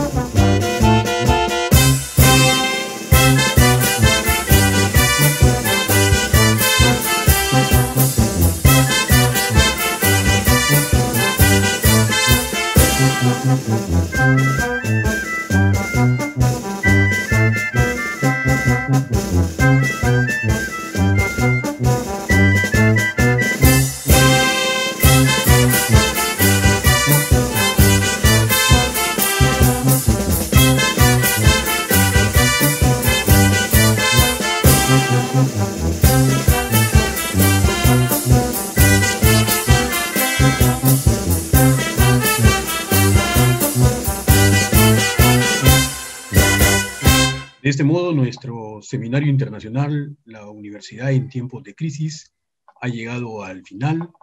Esperamos que haya cubierto las expectativas de todos quienes han participado en estos cinco días de gran labor académica. Los esperamos en una próxima oportunidad. Muy buenas noches y que todo vaya bien con ustedes.